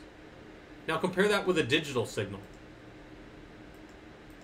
And we'll just assume that it's like a Manchester encoding scheme or something. And this is a 1, this is 0, and this is a 0, and this is a 1 because it's the shift, and this, this is a 1 here and a 1, and that's a 0. Like, whatever, whatever it is. If this gets some noise to it, but it's still repeatable, and it comes out on the other side, it's going to be a perfect wave again. Does that make sense? Because it because digital can only send a one or a zero. So with amp with a with a analog wave, you get a continuously improving, uh, continuously increasing noise problem as you go further. But with digital, you solve the noise problem every time you retransmit the signal because it's always a crisp, clean signal again. In the in the 80s, if any of you were alive in the 80s, um, I was very young, but I remember it. Sprint used to always come on and say, "So clear you can hear a pin drop across the country." Right? So so what Sprint had done was when we talk, I am talking analog to you. It's going into my computer and it is being changed to a digital signal where that digital signal is then going across to my modem here. That modem is probably translating it to an analog signal to go out, get on a device, go back to digital, go over to you. But when you hear my voice, it is an analog again. It has been transferred multiple times. But as it's traversing those lines, the digital can be cleaned up over and over again. So that's actually what Sprint meant when they said, "What's the noise? Does it not distort the signal in terms of one zero?" Yeah, well, there's a tolerance. So if this is a five and this is a zero voltage, right? And and you got to start start to get some noise that looks like this, right? And and it's you know it's kind of a little messed up, but it's not so much that the other side can't still see it as a one and a zero. Then when we translate when we transfer it back out again, it looks clean again every time. So you always get noise, but noise is wiped along a digital path. So that's kind of an interesting thing. Then we take multiple signal streams like this and we multiplex them down into one bigger pipe channel. And multiplexing is the idea that this is like data 1, data 2, data 3, and they can all go over one channel path. Now, we can multiplex by time, by code, by frequency, by um, yeah, we do time. Uh, um, so we do time, we do code, we do um, what's the one in between there? I think I have it in one of these slides. And then the medium or media can be physical or through free space. Physical media is electrical or optical signals. Electrical signals are electrons flowing over a copper wire, typically, typically copper, and can sometimes be gold, in fact. But a copper wire, they are affected by friction. Electrons experience friction as they flow through an electrical cable. As we introduce more and more of those hertz, we introduce more and more heat. Optical signals are photons passing through a clear core, going out into the, the, the uh, cladding and coming back into the core. They do not experience heat. They do not experience electromagnetic interference, but our bits do. So electrical does uh, experience, it both creates electromagnetic interference as it moves, and it also is affected by electromagnetic inter- interference from the environment. So it's both. Free space can be energy of electromagnetic waves or laser waveforms. Those are the major ones for that. Okay, so that's how we send data. Um, wait, do I have? Oh, oops. Go here. Um, here's a sample. So if we've got an analog signal and it's traversing whatever our analog signal looks like, and we downsample it at whatever time sampling interval we want, which is typically many, many thousands and tens of thousands of times a second, then on the far side, we can put that back together to analog to be able to hear it pretty crisp again. If you guys have any friends that are like, they insist that they hear stuff from like a record player because when it comes off of a digital signal, they insist that they can hear the difference, it's technically different. Because even though it was sampled a lot, it is no longer this perfect wave. It is now straight across. Now, there are people that will argue, well, the human ear, you know, we we figured out all the sound stuff by like '97, so there's not really any anything else to figure out. I don't know. There's still a lot of people out there that that, that swear up and down that they can um, that they can tell the difference. So, uh, and um, if you guys remember the early days of like Napster and LimeWire and that kind of crap, um, you wanted the highest sampling rate of a song as you could because then it would be the more clear, crisp song or whatever. All right, so downsample. How do we multiplex? Ah, here it is. It's frequency division, multiplexing, time division, and code division. I was forgetting uh, frequency division. Uh, we transmit two or more signals simultaneously over a single communication channel. We aggregate signals up. What benefits from that? Telephone systems, telemetry, satellites, broadcasting. But if you want to look at it, it's almost like this. Like you've got a frame, you've got a set of time. Like time is like a little river flowing. And as long as there's nothing in there, you can just drop something in that time. We have all kinds of different ways that we deal with who can transmit on a time division multiplexing system. We can have like a token passed around, like an old token ring network. We can have uh, you get pulled and you get to transmit during your time, even if you have nothing to transmit. You can request to transmit RTS, request to send, and then you'll get approval to send for the next X amount of milliseconds and that kind of stuff. So either way we do it, we have one channel, but we can have multiple signals because we've divided them by time. At the end of the day, this is exactly how virtual machines work against a against a host.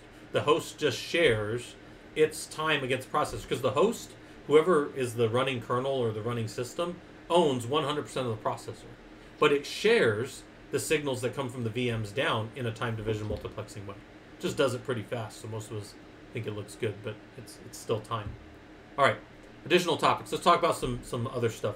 There's a direct attached storage and network attached storage, and then when we get into those, direct attached storage is physically on the system. So strictly speaking, this isn't anything to do with the network. I just put it in there to compare it with a network attached storage, which is typically over an Ethernet connection.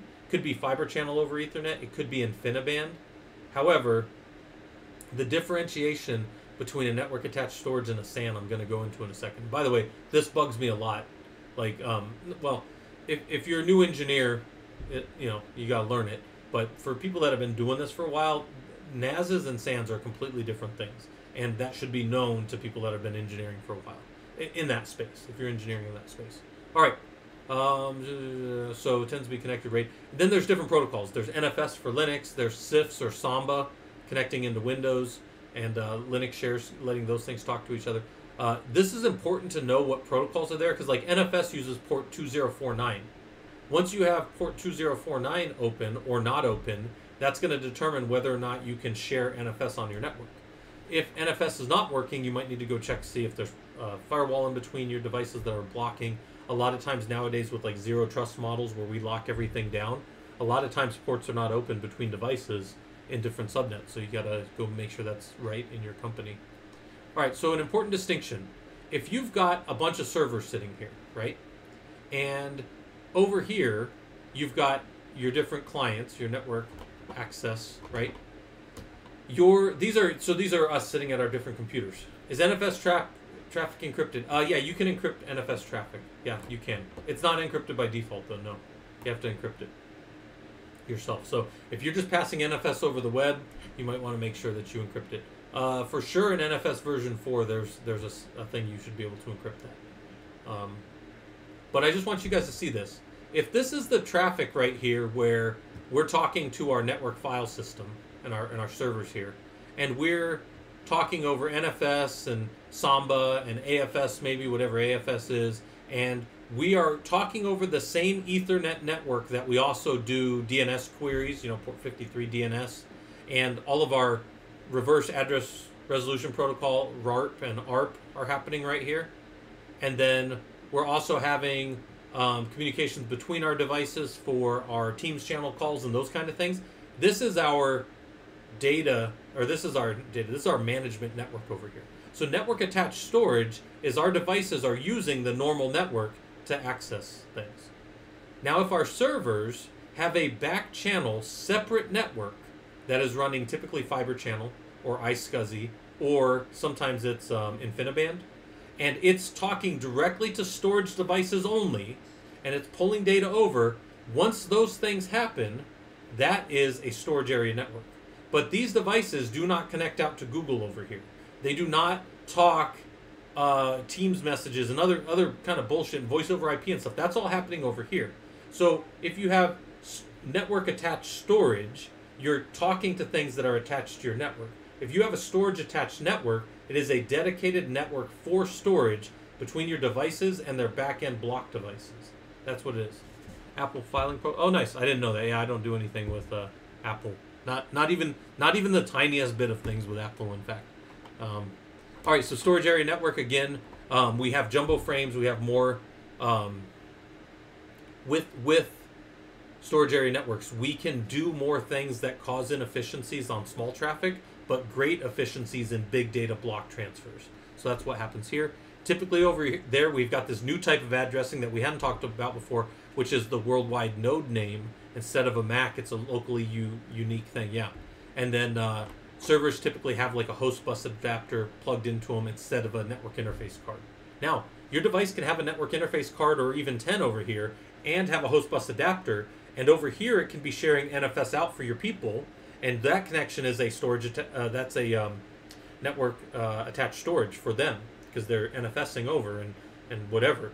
But then your device is getting its backend storage off a high speed storage area network. They are two different things. And I really like that drawing for the distinction. All right, storage area networks can be something like this. By the way, in this example, you might say, ah, Scott, hold on. We've got Ethernet switches and fiber channel switches, and now I see that the NICs are going over here. And um, what? How? How is this? Okay, so this looks like what you define. There's my net NICs are my network attached storage, and then my fiber channel backend. Okay, good. But then you say, well, what about this one? Well, there's a distinction I want to make here that fiber channel over Ethernet is typically such big 40 gig or 100 gig links over fiber that we can carve that link down where 10% of the traffic is truly your uh, management traffic, and 90% of that traffic, still over the same link, is going to a storage area network. And in that case, because there's that distinction, it is still network attached storage this way and storage area network that way. Even though you're like, ah, but you just said if they're over the same link. Yes, however, we're carving up a very, very big pipe to get the bandwidth and throughput that we expect for our systems. All right. Uh, do routers and switches need to support jumbo frames? They do not pseudo, please. Uh, in my case, um, I typically use it for all of my big networking and that kind of stuff. Uh, like, sorry, big data, like my back end, big storage type stuff. So not all routers and switches need to support jumbo frames. No. Nope. Then a little bit of stuff that doesn't fall in anywhere: intrusion detection and intrusion prevention. What are those things? Uh, intrusion detection looks at statistical anomaly and what we call heuristics, or it looks at signature-based detection. Signature-based detection only works if we've seen something before. Statistical anomaly looks at things that could be a problem based on like trends and old data and that kind of stuff. And statistical anomaly is only going to be as good as data you've collected before. Signature based detection is only going to be as good as the updates of your signature database, right? Uh, IDS can be host based, network based, or we can do port mirroring and then listen to things, or we can have uh, event buses nowadays that, that do something similar to port mirroring and that kind of stuff. Not going to get into all that. Where we go from here, I didn't even update that, so don't worry about that. If you have questions about any of this stuff, message me on Discord. If any of that stuff's interesting and you're like, hey, Scott, I want to dig into that more, or if you want, I mean, this isn't a strictly speaking a networking group, we're a Linux group, um, but I do a lot of networking. So if you want to know more about Wireshark, I think the best thing is to play with it. But the second best thing is we can go through and work on some stuff and look through it if anybody wants to do that kind of stuff. So, all right. Uh, with that, I'll probably drop the stream. I am surprised that my guys in Discord, like, can I say something to my, my people in Discord? You guys were remarkably well behaved for what I expected from you. I expected, like, so much of that stuff from you guys, like, all that kind of stuff. Man, yeah, that's a lot. That's, um, like, like that was two and a half hours of me talking. And I told you guys before, I could talk about networking for hours and hours and hours. And um, we, we, we glossed over so much of that stuff. But I, I wanted to give you guys, like, a primer like walking through this stuff. We all have to touch the network, guys. Like none of our devices, none of our individual devices get anywhere without the network. So it really is, it really is back to the very first thing I showed you guys. So some of you guys probably got here later and didn't see this, but it really got to like all the problems are networking. Like I need to get this stuff.